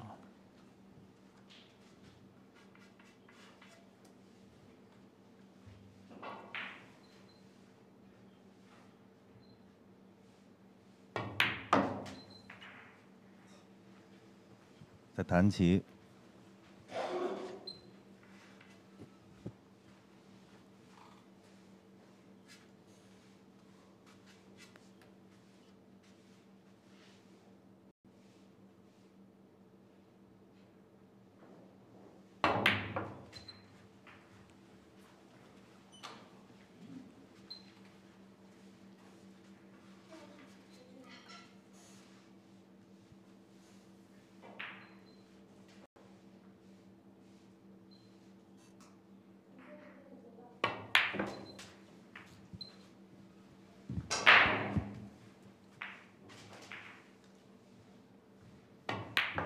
第二十二局，张坤鹏胜，比分十比十。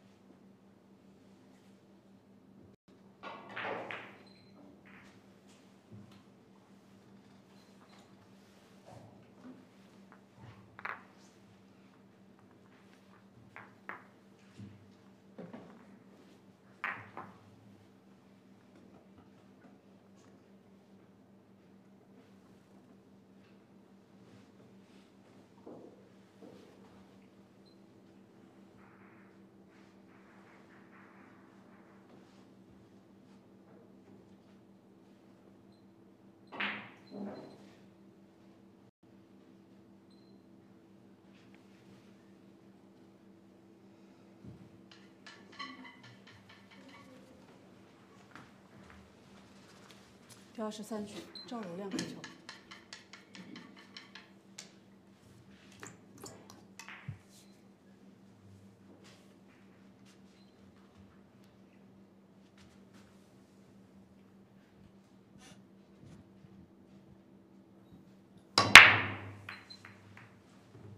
左边啊，十二号进过线也没问题，二号再进，白球这个位置不错。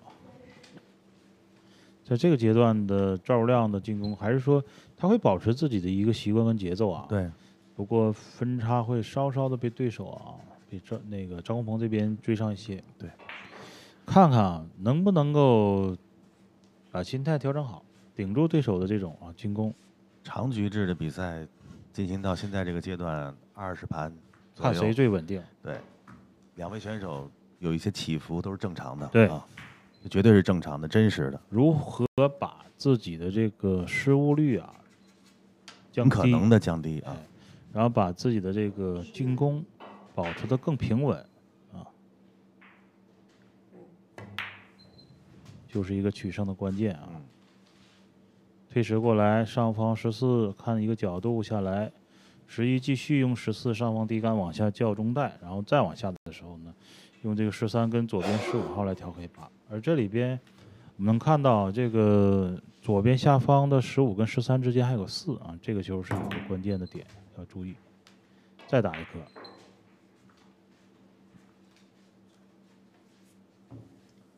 再打一颗的话，中间就没有球了，嗯，直接就是一个十四奔下方的一个。准确来说啊，多数是一个十三啊，用十四叫十三，把十三处理，率先处理啊，没问题。因为左下方十五是一个活球过渡球。是的，甚至于说现在都可以。对，甚至于说现在啊也有想法啊。嗯。两个球一打，上方还是一个十四的低杆直接往下来，下方就没球了。我直接用十四叫的是一个黑八。这就是一个上下半台的一个他的理解，对，还是觉得呃要留两颗啊，并没有把下方球全部打光。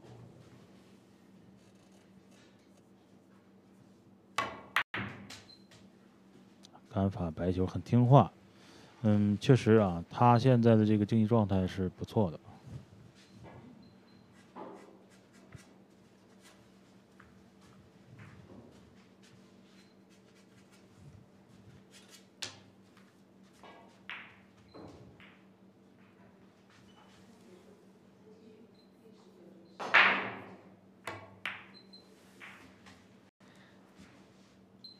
带口，右边有。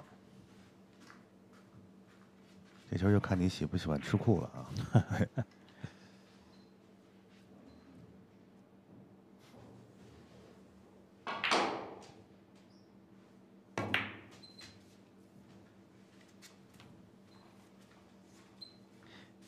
对于这种手感较位啊，嗯，日真化境，熟练。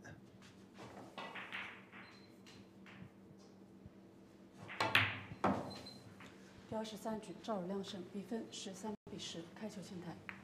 谢谢。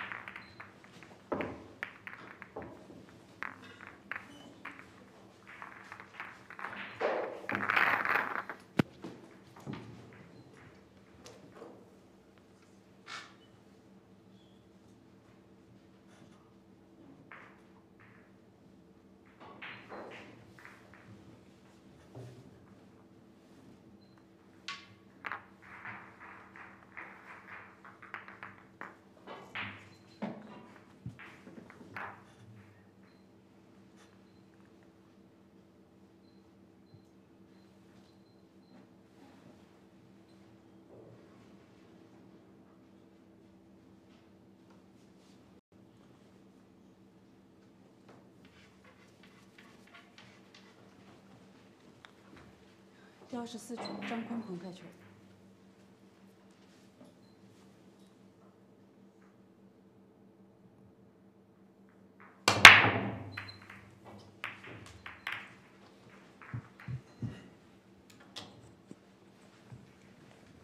啊，看一下回放，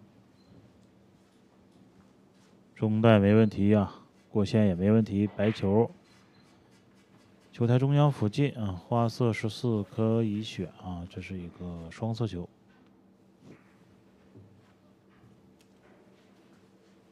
啊，单色这边来看一看。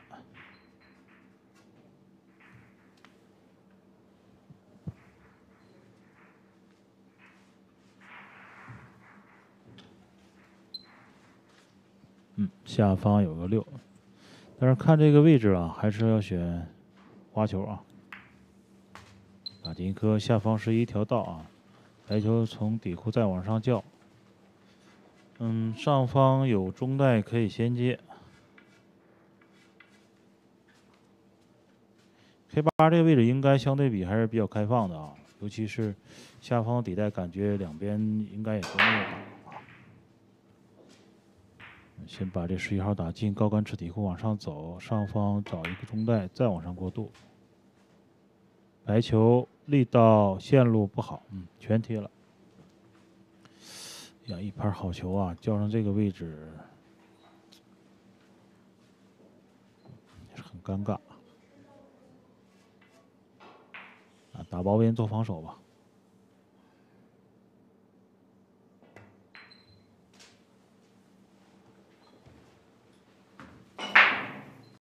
这也是无奈啊，没办法。自己在前面没有自己没叫叫好，这个球确实是太不应该了啊。呃，很多条线都可以去选择，但是这条线，呃力量也是刚好贴住。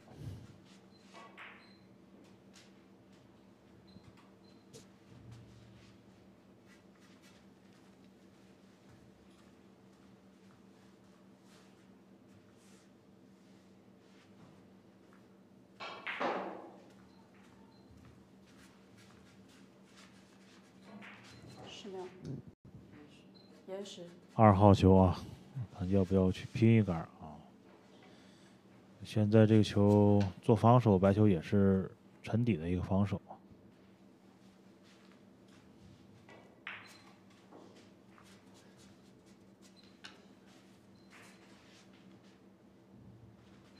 看五号啊，呃，看有没有一个直接高杆连进啊，带白球往下防的一条线路。嗯，直接还是做防守。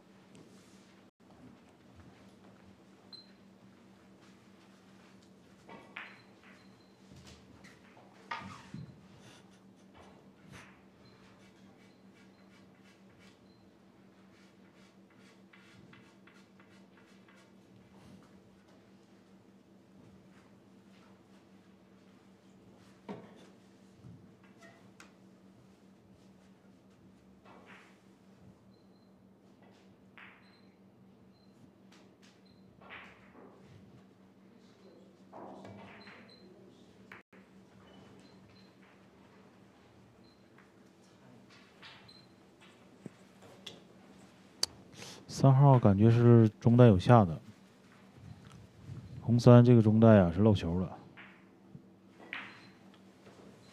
这赵主亮要考虑这个风险啊。这白球尽量还是要避开黑八啊，对，最好不要顶，顶也要顶自己的六号球，杆法下低一点儿。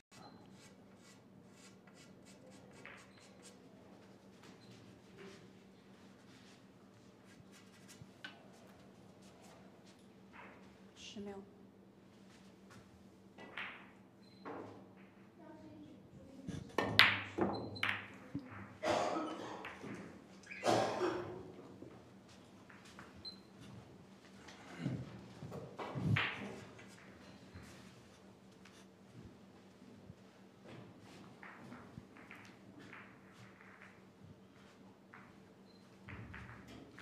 我就看谁的耐心更好一点啊。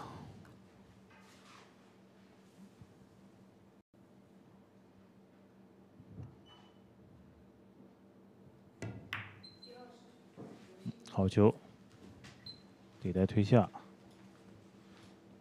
呃，先来看这个十四啊，十四的右上方如果有下的话，现在这个位置是可以先打的，打完就没有什么难度球了。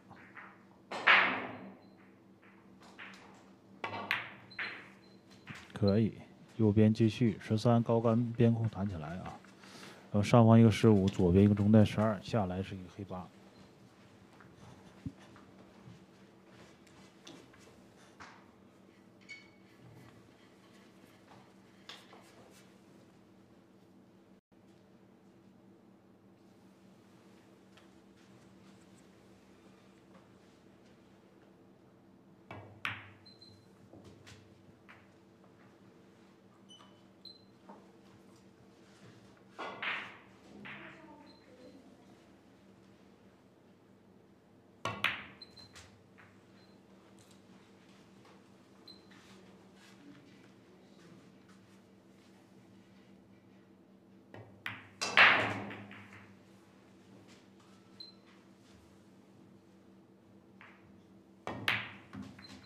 第二十四局，张坤彭胜，比分十一比十三。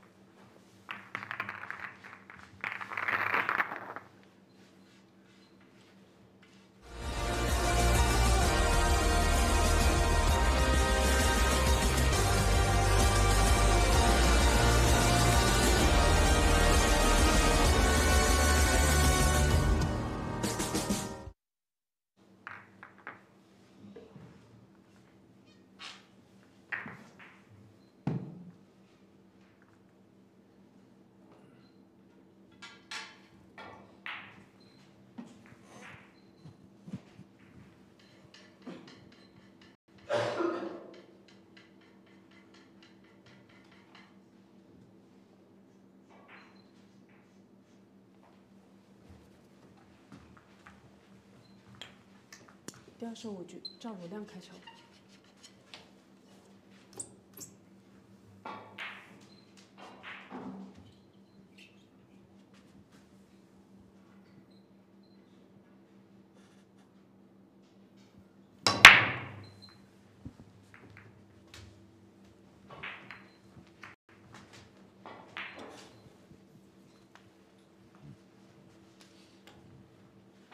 看回放，七号球进中袋，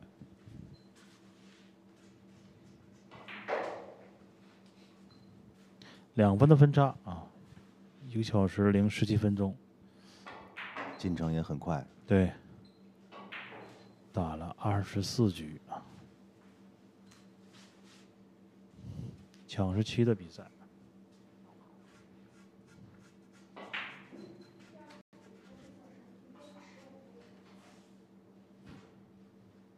十秒。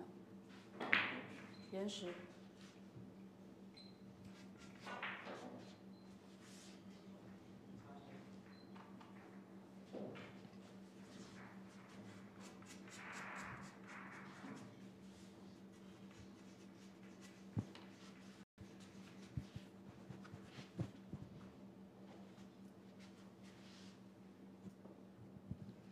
杆伟，李杆下来看方向。啊，啊，这个是一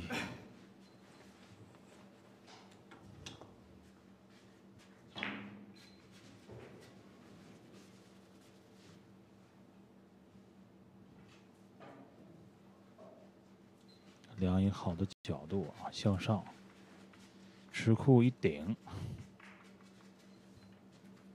唯一有点难度的就是白球离库边太近啊，不好加杆法。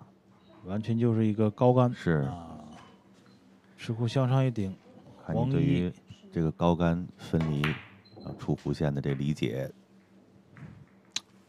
已经算不错了。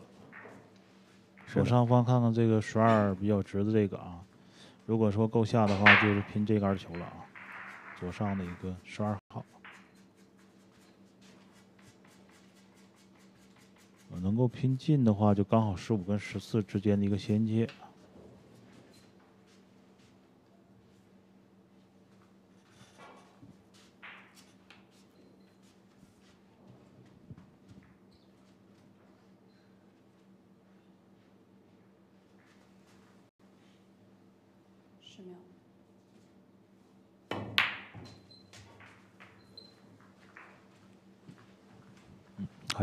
进啊。嗯。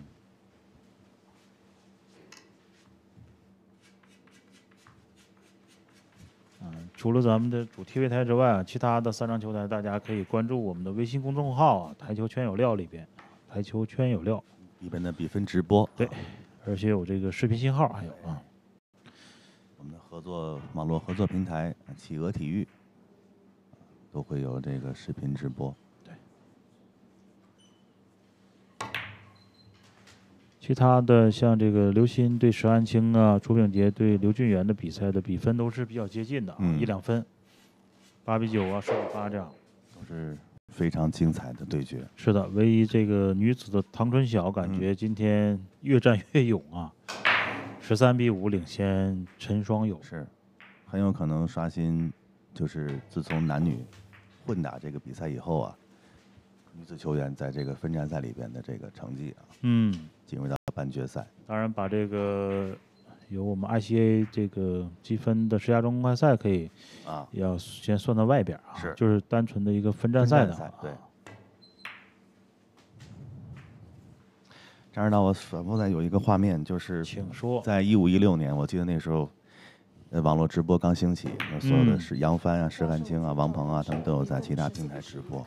嗯那个时候的赵汝亮，那个薇薇在直播的时候，嗯，打这个蛇彩，啊，蛇彩暗号打，嗯，还打不光呢，啊啊，还还生气了，别拍了，别拍了，啊，觉得好像不好意思了那种。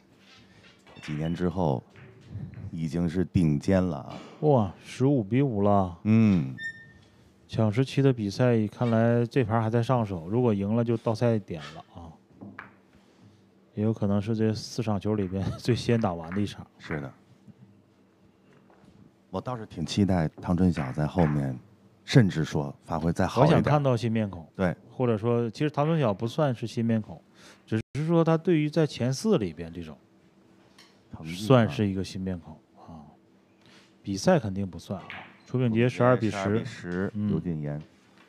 这两位选手在今年的其他的协会的比赛里边也是经常碰面的。经常碰面啊。刘俊言这位小将，我觉得他身上的这个敢打敢拼的这个特点，张坤鹏开球。能让他走到这儿。而且刘俊言为人也是比较低调啊。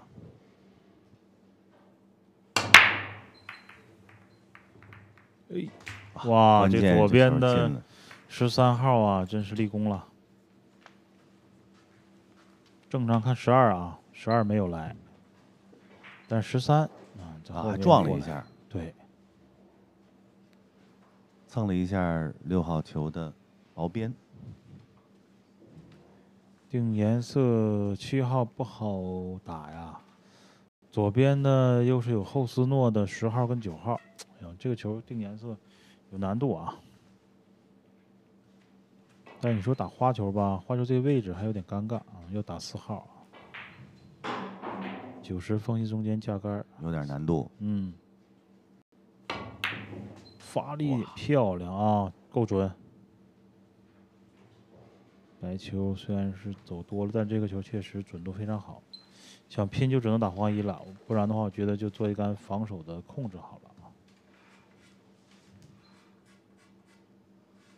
这个黄衣这杆儿还是有很大难度，而且你如果出问题，白球停下边儿，下方都是花球。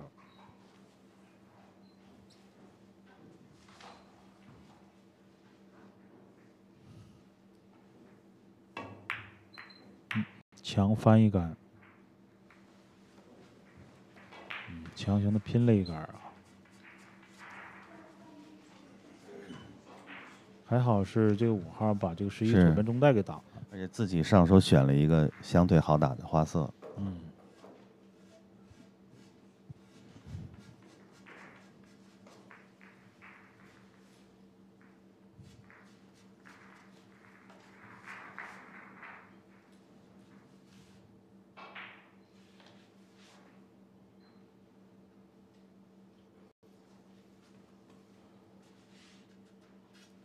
十秒。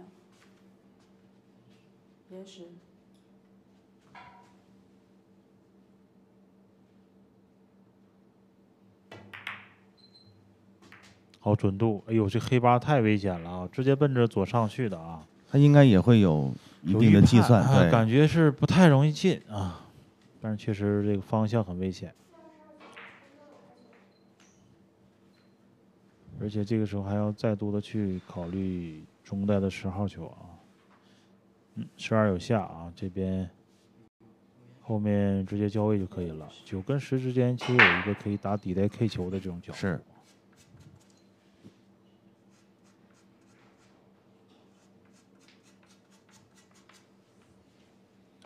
翘粉擦的这么多，要用什么的极限杆法？什么样的？有多偏的一个旋转在里边？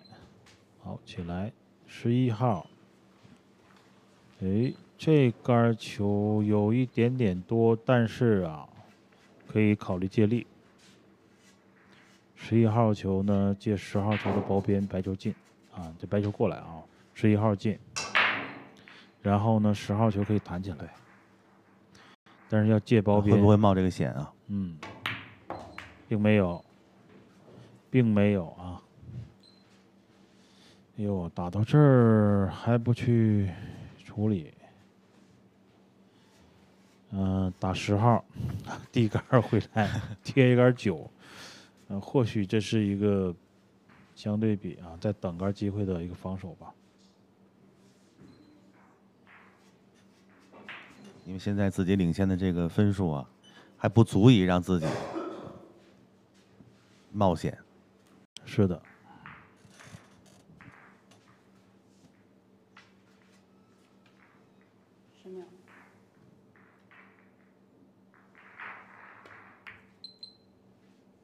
还是往上放啊，往上放，就等着你漏白球啊。对。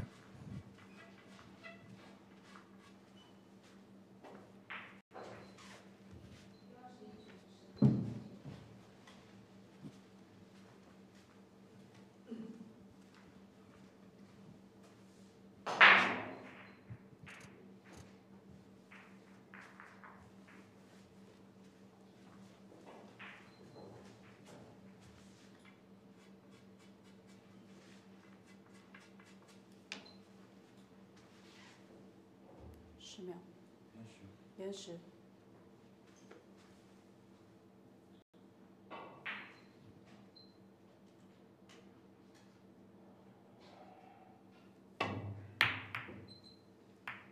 嗯，这么一撞撞回去，漏机会了。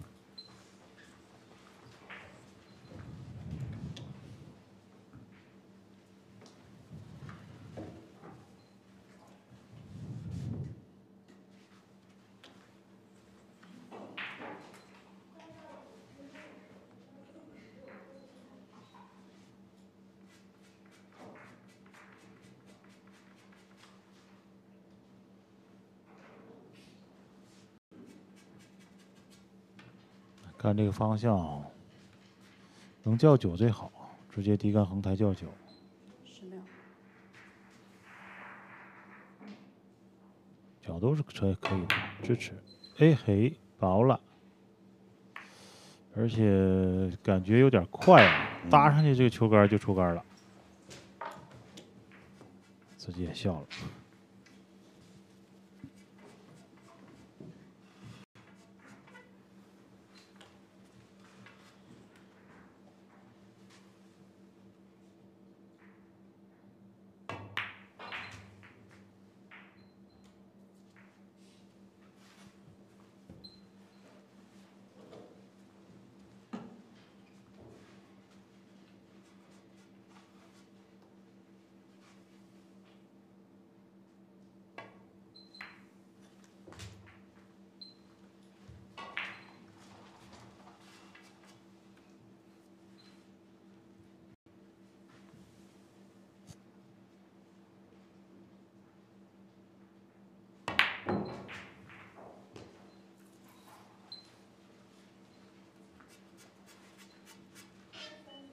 进攻二号，留一个打三顺势啊，上去的角度，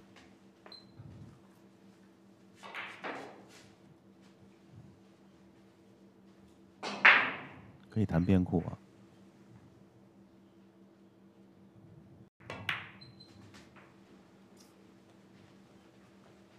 六八同带，走的稍微有点小啊，那准度应该能支持。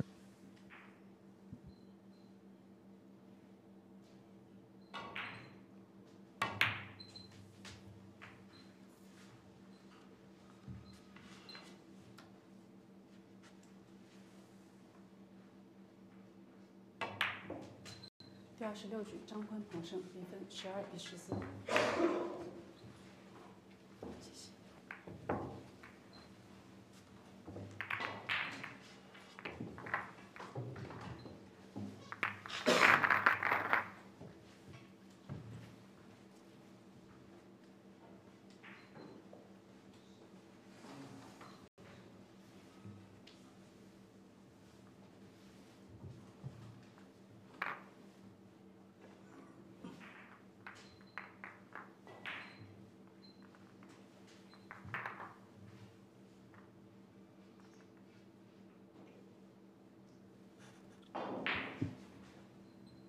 这边能看到刘鑫是九比十一啊，唐志晓这边是十六比六，陈双友率先已经是到了一个赛点了。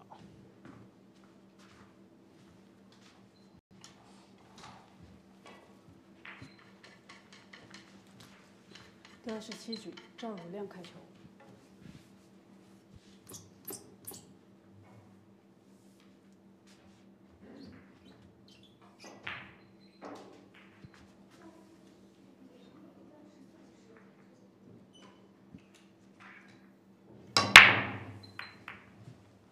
二号，啊，过线没问题，二号进，白球在球台中央稍微靠下，靠右一点点。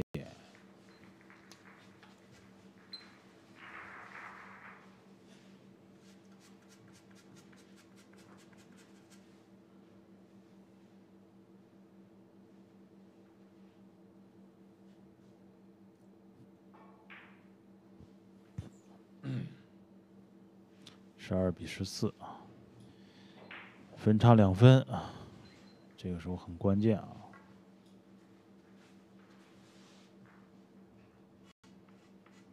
每一杆都需要很谨慎。呃隔壁台的楚炳杰，十秒。延时。这是本次赛事的夺冠大热啊！对，赵亮、张坤鹏、楚炳杰啊，石汉清都是这样。对，这边十四比十了。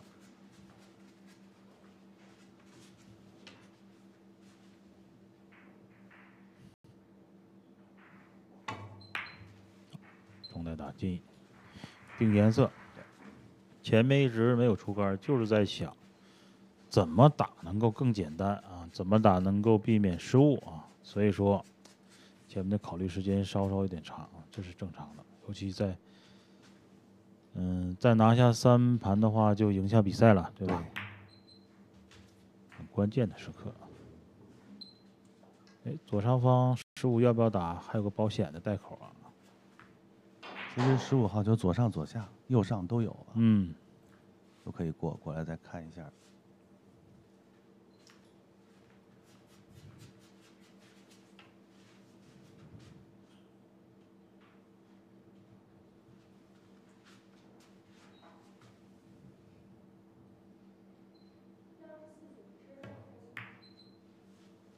中带打进，上方一个十三，这杆儿的一个过渡期是一个关键球啊。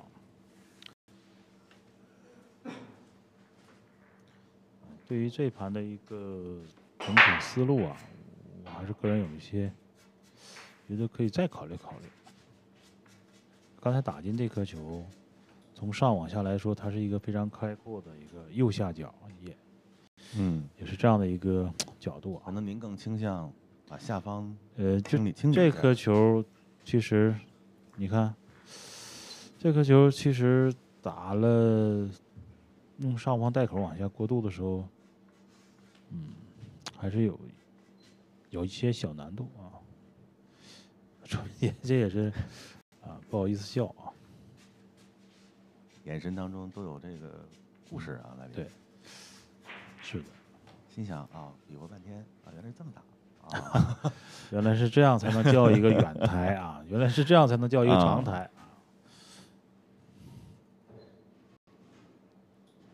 十四，两步再出来看看效果，调回来了，嗯，一杆儿啊，白球调回来了，再调一个右上角吗？这个要说现在后面叫右上角，前面不如打左上角底带了啊。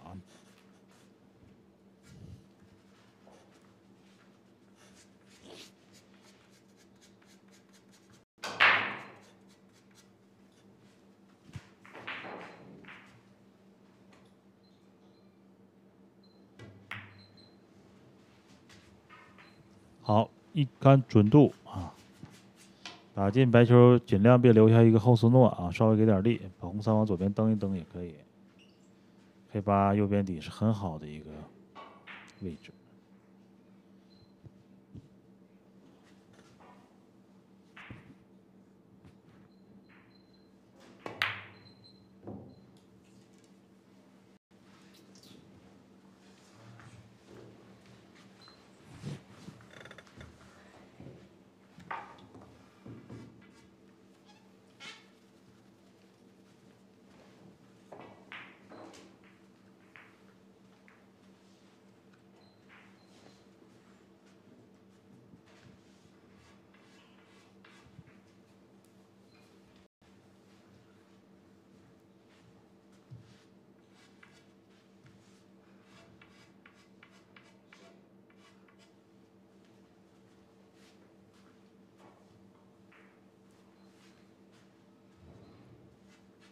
什么呀？延时。延时。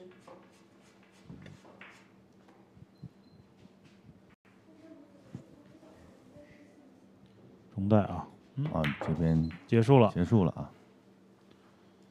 唐春晓是率先挺进了四强的半决赛，嗯，明天上午八点半啊，两场半决赛同时打啊。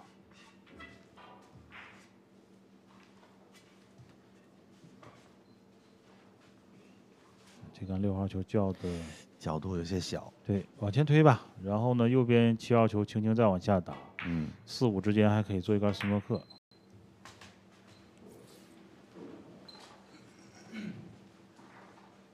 正常往里打，白球呢，只要不弹出来太多。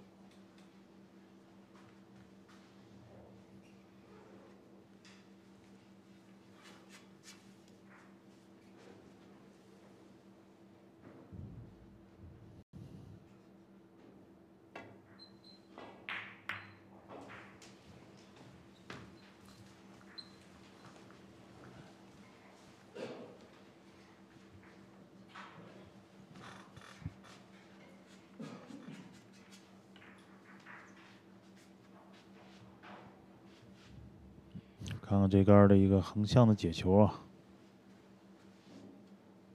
这也是第三阶段啊。这盘球打完，哎呦，这球解了，差一点点啊。这盘打完是刚好是二十七盘啊，暂停。第三阶段一个暂停。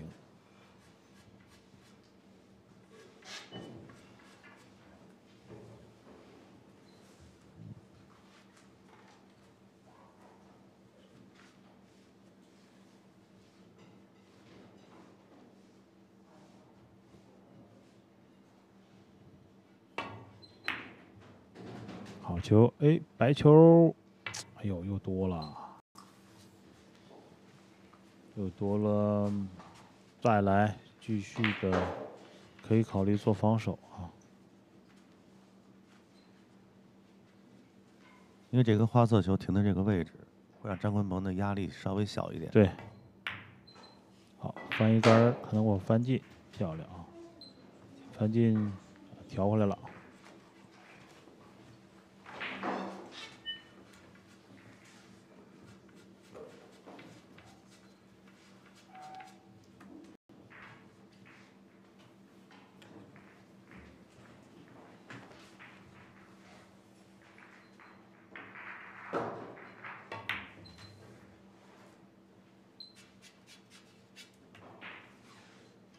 还是中带了。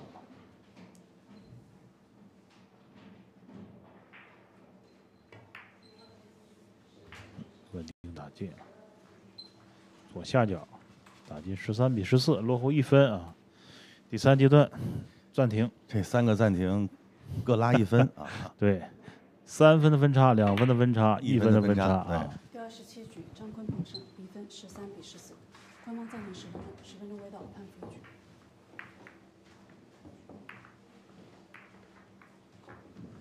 尼尔批以一颗匠心，超过三十年的经验累积，全世界数百万使用者的反馈数据，懂球，懂力，更懂你。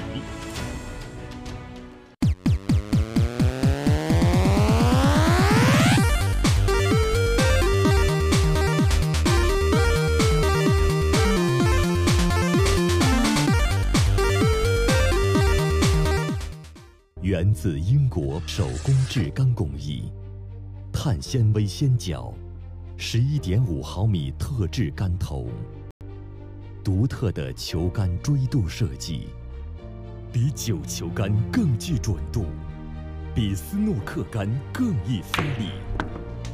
他帮我夺得三次中式八球世界冠军。博茨杆刚学会中学台球。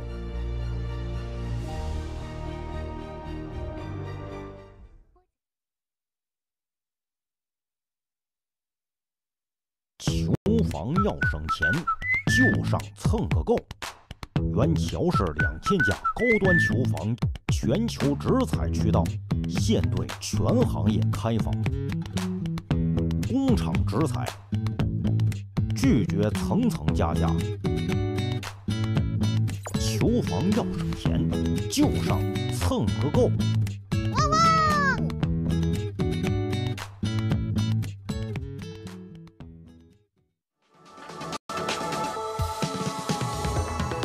万级球器，中式八球领导者乔氏荣誉出品，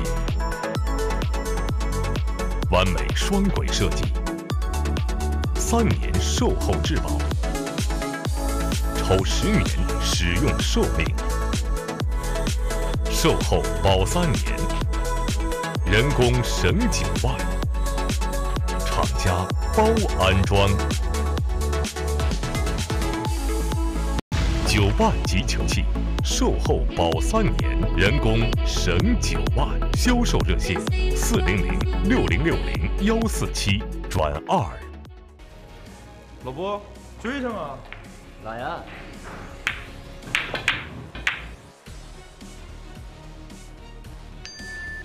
太平了吧！酷性这么好，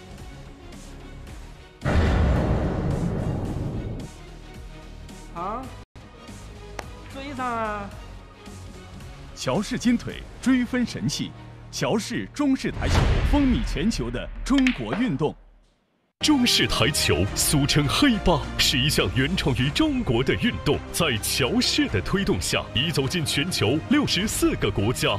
大家好，我喜欢乔氏中式台球，风靡全球的中国运动。施博台球杆盒，欧洲设计，高新工艺，三层抗压 PC 合金，六重保护。极力减少挤压、摔碰对球杆造成的伤害，质保三年，施博台球杆盒给球杆婴儿般保护。乔氏荣誉出品。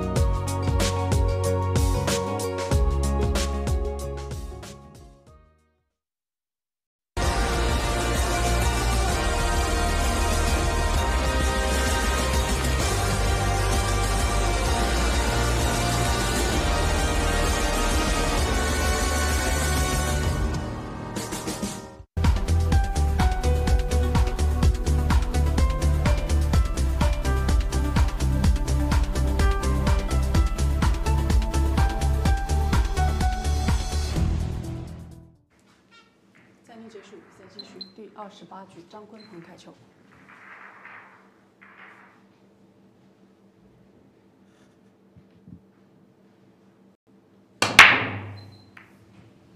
哎，进球了，而且白球还不错。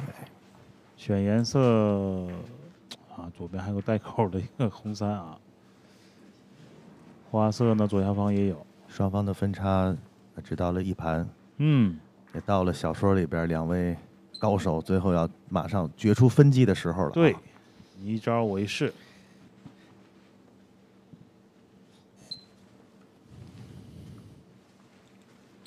四号球贴库，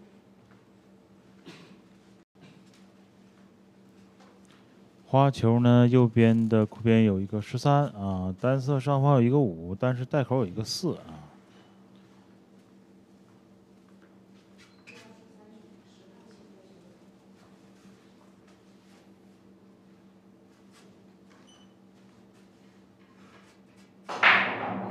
十秒，延时。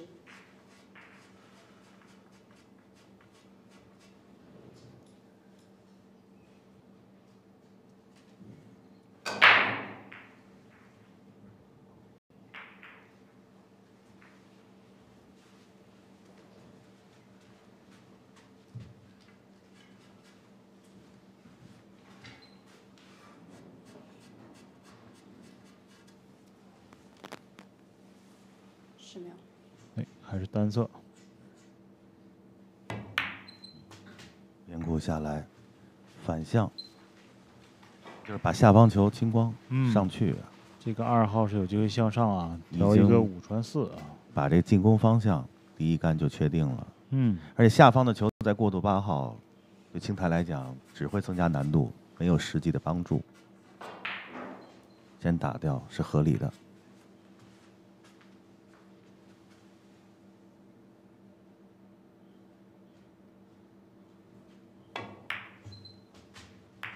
撞七，看看位看置效果。哟，这七号球如果够下是是啊就太好了。感觉四是没有完全挡住所有袋口，关键是这个十四号挡没有挡。嗯，七号球啊，这是关键的。哟，这个方向看过去，还别说，啊，有是有，不好打。对，你需要偷那个位置得特别准。对，呃，从我们刚才这个角度看，跟现在的这个顶级角度看，还是有一点小区别，就是袋口被四号球挡了一部分。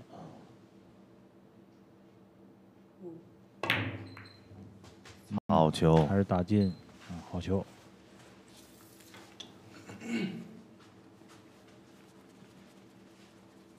平时台球爱好者可以练习练习这样的偷带脚，对，保证让您的这个就一多半的带口。对进攻方式啊丰富起来，会让您的对手更痛苦啊。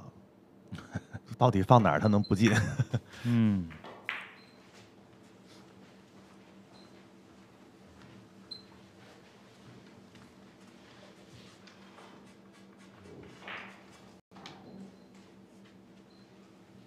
在保证准度的同时，把这个角度留的大一些。有这个方向感觉应该还是有一点点向下啊。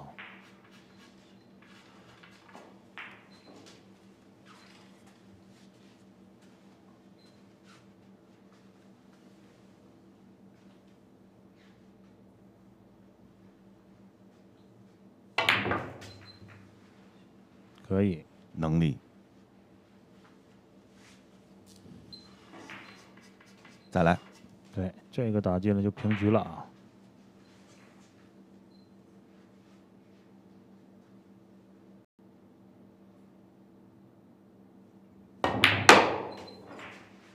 第二十八局，张坤彭胜，比分十四比十四，开球清台。谢谢。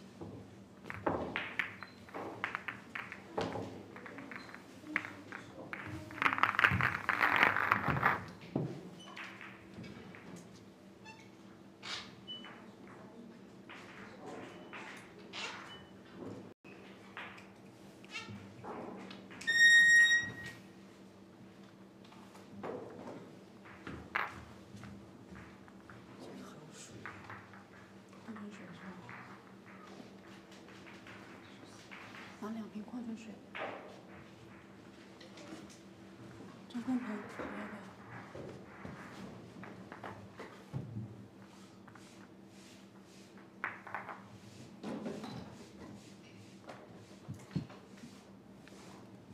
朱敏杰十六比十一啊，领先刘俊言。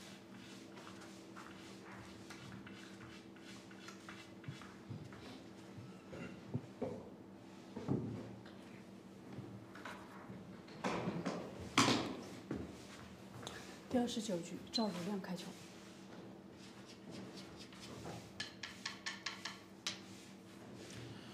到了一个赵汝亮开球的机会啊！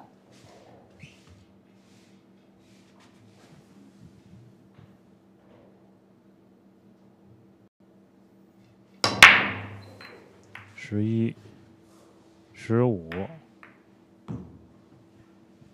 没有。开球时机，赵尔亮开球时机三次，判负一局。第二十九局，嗯并且是开球时机啊，直接应该是啊送分了。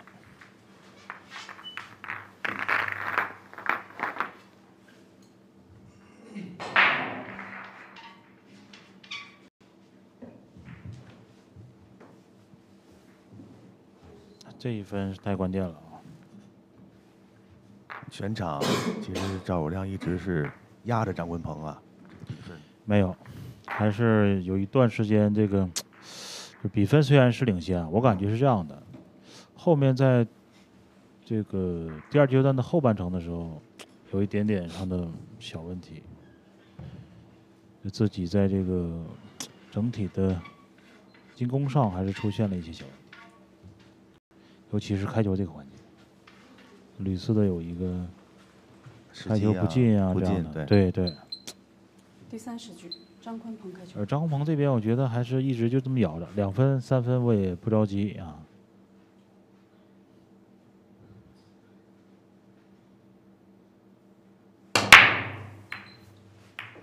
分差看着是这样的啊，赵文亮一直在领领先对一直在领先。在这个三分的优势啊，两分的优势，一分的优势，啊现在是落后一分哎，落后一分了。而且是以一种开球时机啊，三次累计，对，这个有点对信心啊打击。这盘张鹏赢了就到赛点了。对，是一个整场比赛走势的转折。是回首又到赵汝亮开球，赵汝亮已经是三次过去了，过去之后是否 还会用这种控制型的开球就很关键了啊。因为这种球一般情况下如果不进，那就是一个非常好的局面。先看看张文鹏能否在赛点啊，角度不错啊，直接就是一个啊中低杆的顶库弹下来，奔着一个七这边来叫就好了啊。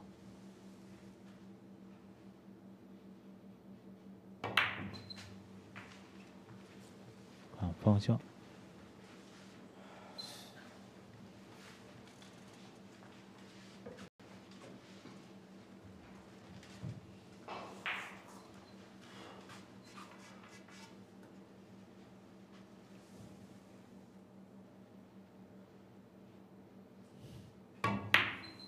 推下来直接底库一个二号角度，可以啊。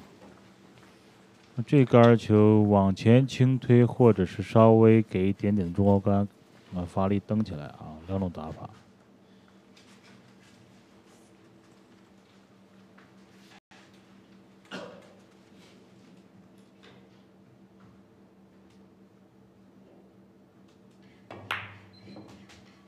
够准。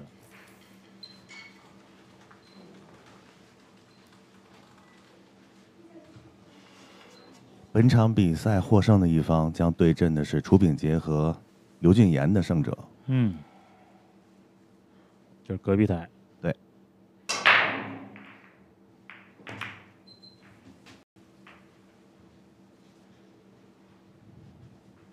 这场比赛看的是跌宕起伏啊，没错没错，两个人互相有来有回啊。同胜，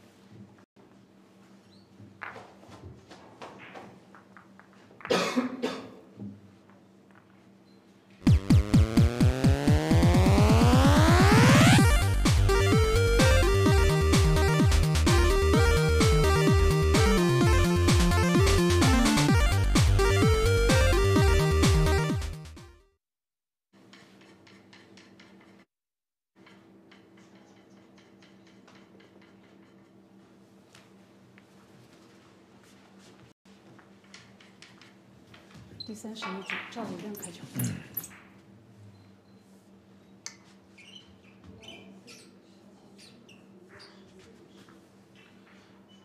关键一局啊，领先到落后啊，看开球怎么样。七号有球下，这盘能够是否能够完成一个清台啊？看取下垫片之之后的这个位置，对，反正也不要想太多，我踏踏实实把我这盘打完再说啊。下一盘对手开球能不能炸清，我也是管不了了啊。先把自己这一局打好。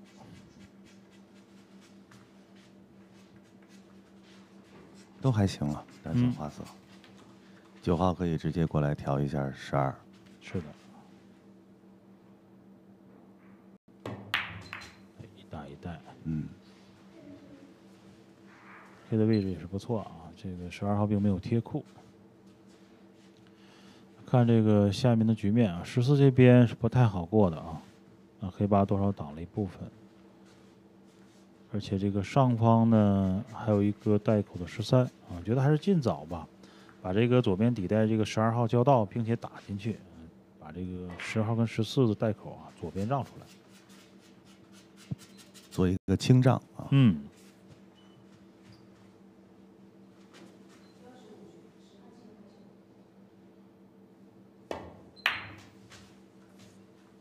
嗯，是这个意思。白球，很力道。这个时候判断就是我是否在中带的十五号这边留一个备选的过渡啊？想留的话，就现在把这个底带打了啊，左边这十二号啊；不留的话，就直接用十五再往下啊。而且刚才他也瞄了一下啊，这缝隙里边的十四是有可能够下的，嗯，直接来了，好球，掌控能力啊！是今天他他这个阶段后面开球不好，甚至于说比分有落后。但是并没有影响到他一个基本的状态。对，这场比赛打的不错，嗯，都有起伏，但大家都在调整。对，啊，控制，没有说一盘，你说一哪哪一方突然间的这种情绪失控，或者说出现那种特别大的啊的起伏的状态，可以，高水平。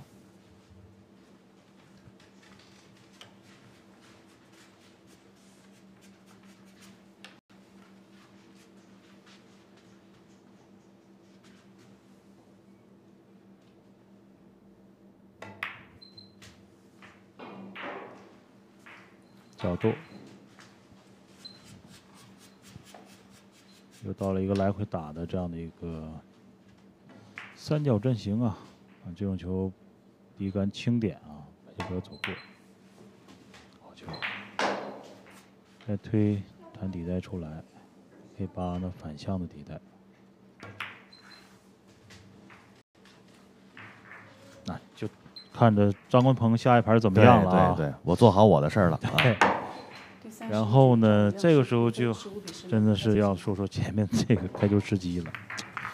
三次送送这一分呢，太还有一杆右上角的进攻，啊。对，啊，主动的一杆失误。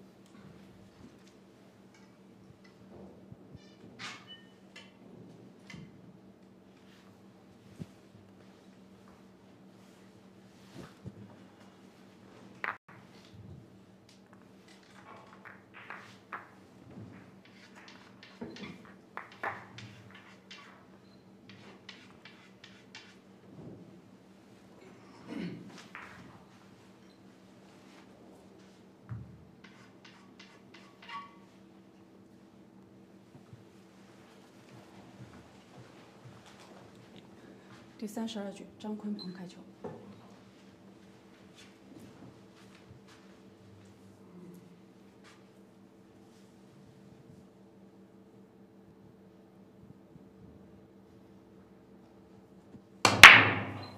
七，来了，红三，带口。哇，这个局面，关键是三号啊，跟八号这个关系。目前看局面是挺好的，嗯。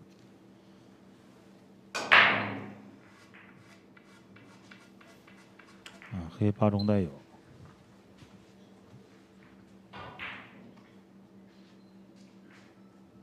嗯，单色、双色，双色的话，左边十号球啊，还要调一个十五右边的中带。而单色直接上手就可以把这个五打掉，然后打三下来，这边六二的一个过渡再往下，用一跟四，尤其是用四号球调黑八右边中带，是一个比较合适的位置。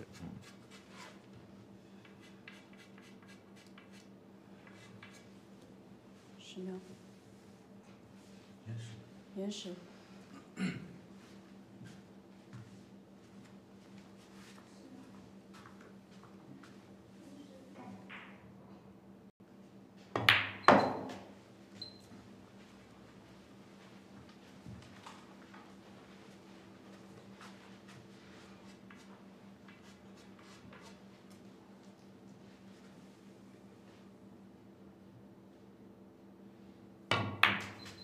白球多了，还能调六号球啊，继续的一个中带啊。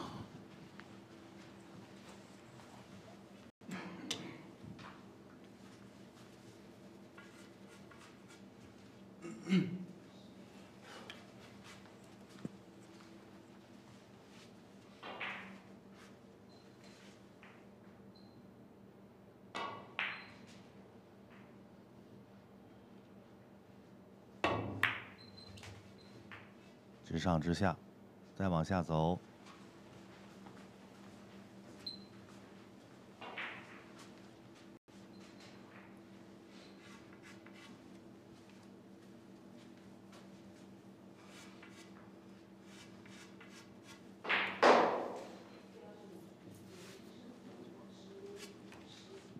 二号有向下角度，是的，这一杆交位直接就决定黑八的难易程度了。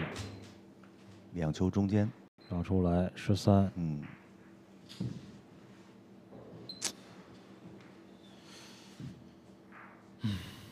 看了全场啊，现在双方呢也是十六比十五了，最多最多还有两盘球，也就是说赵汝亮如果扳平还要打一盘双赛点啊，这么假设一下。呃，整场比赛里边，张坤鹏的这个 怎么说啊？张坤鹏的这个白球和选球的一些次序，会有个别上，嗯，需要再合理一点点。嗯，这个时候就怕黄衣吊带。这个时候呢，给大家出一个小题啊，虽然看不到弹幕啊，黄衣这时候吊带怎么办？然后等这盘打完之后的摆球阶段啊，由这个阿苏来告诉你们。先让大家想想一会儿，嗯，别着急啊，别说太早啊。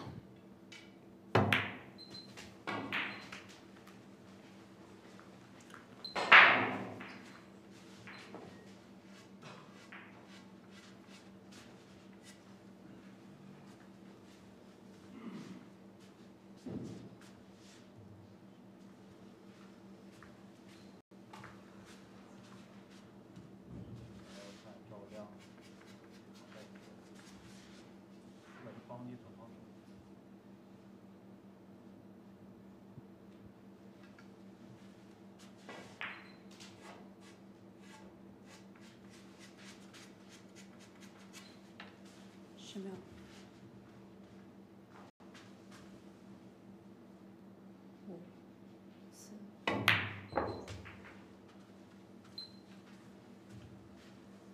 调一个更好的角度向上啊。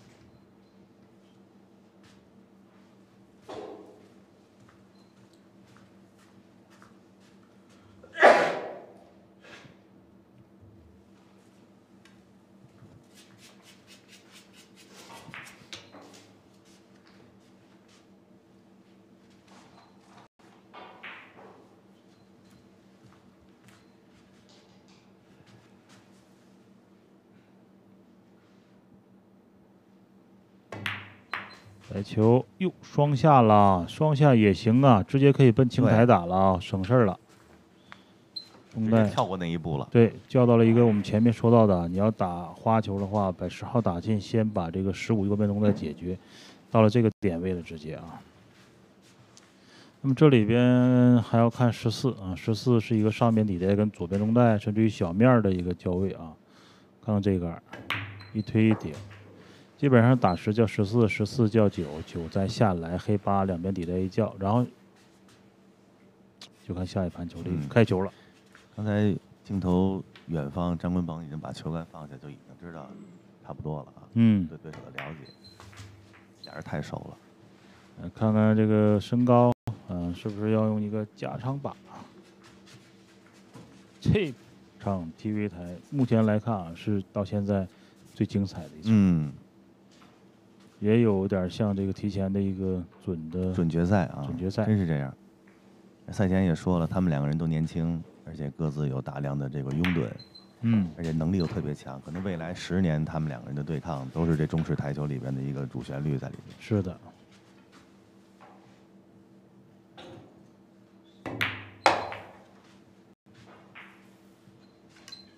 这次赛事张坤鹏的双赛点打的不少啊。对，又是一个双带点。对三十二局，赵汝亮胜，比分十六比十六。谢谢。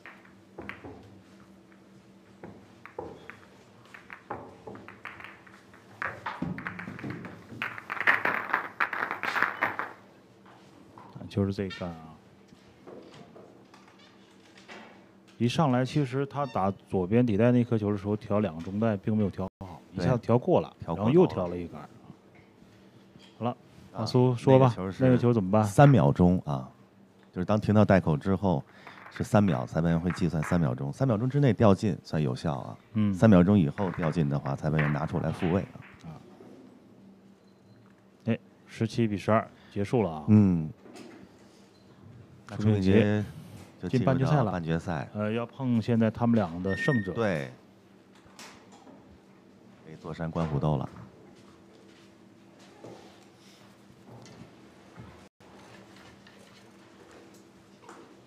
决胜局，赵汝亮开球。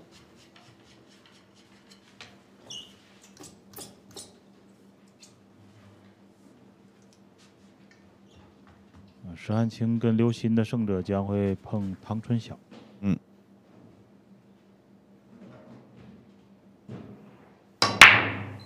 中带，中带，七进了。十一看看怎么样？上一盘张坤鹏冲球进中带的也是七号。嗯，巧了呀。嗯，无巧不成啊，评书啊，真是。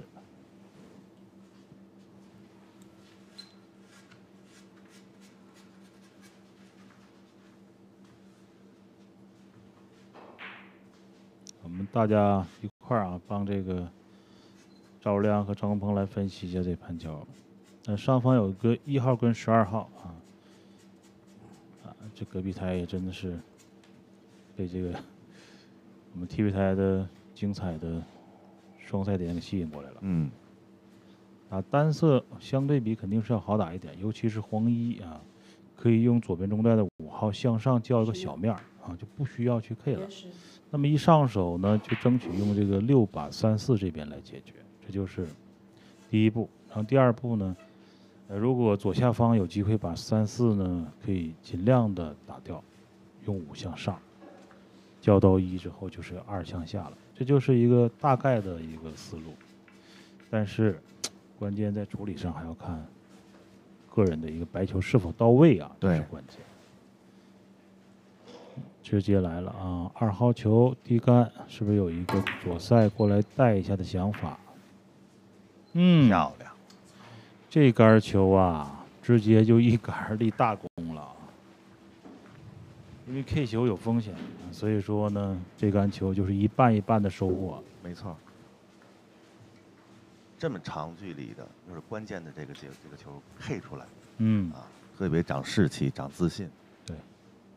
但是这个时候呢，就是稳定啊。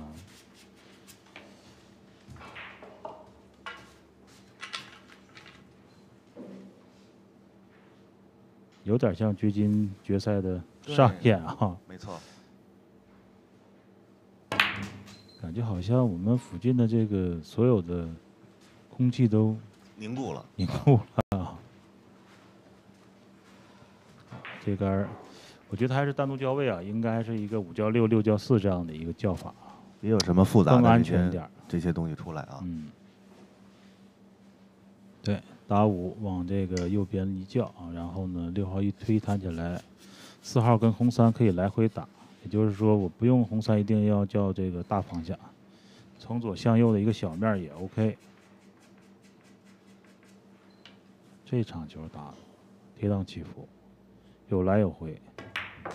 高刚过来，六号球，对，推弹起来，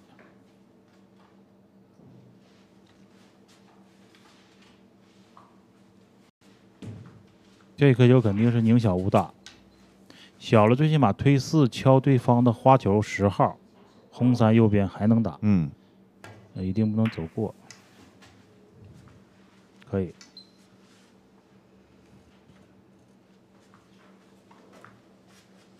再往前一推，反向一个红三的定杆，龙带黑八，三颗球，多少了？两万四是吧？对，三颗球，奖金要扣除一个百分之二十的税对。，本身是三万啊。对，减速轻打，还是顶一下，稳妥起见啊。也是怕万一轻推，哎呀容易过了之虚后啊，十号球再给我挡住。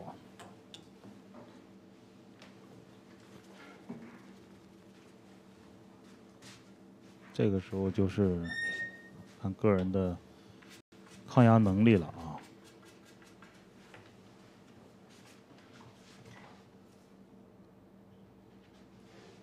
不敢喘气儿了。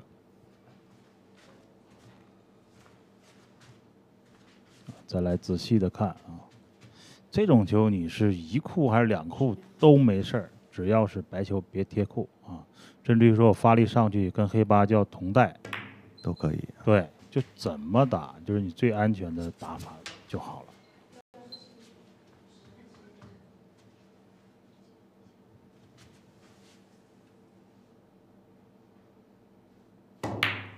打进八号啊，哇薄了一点点啊嗯甩了甩手啊。嗯，赵汝亮这场胜利也是源自于张坤鹏的精彩的表现啊，也是因为对手足够的优秀，对，才彰显本场比赛你获胜的这种含金量。嗯，恭喜赵汝亮，也感谢张坤鹏的发挥。对，那么今天所有 TV 台的比赛就全部结束了，明天上午八点三十分我们半决赛再见。明天八点半见，各位。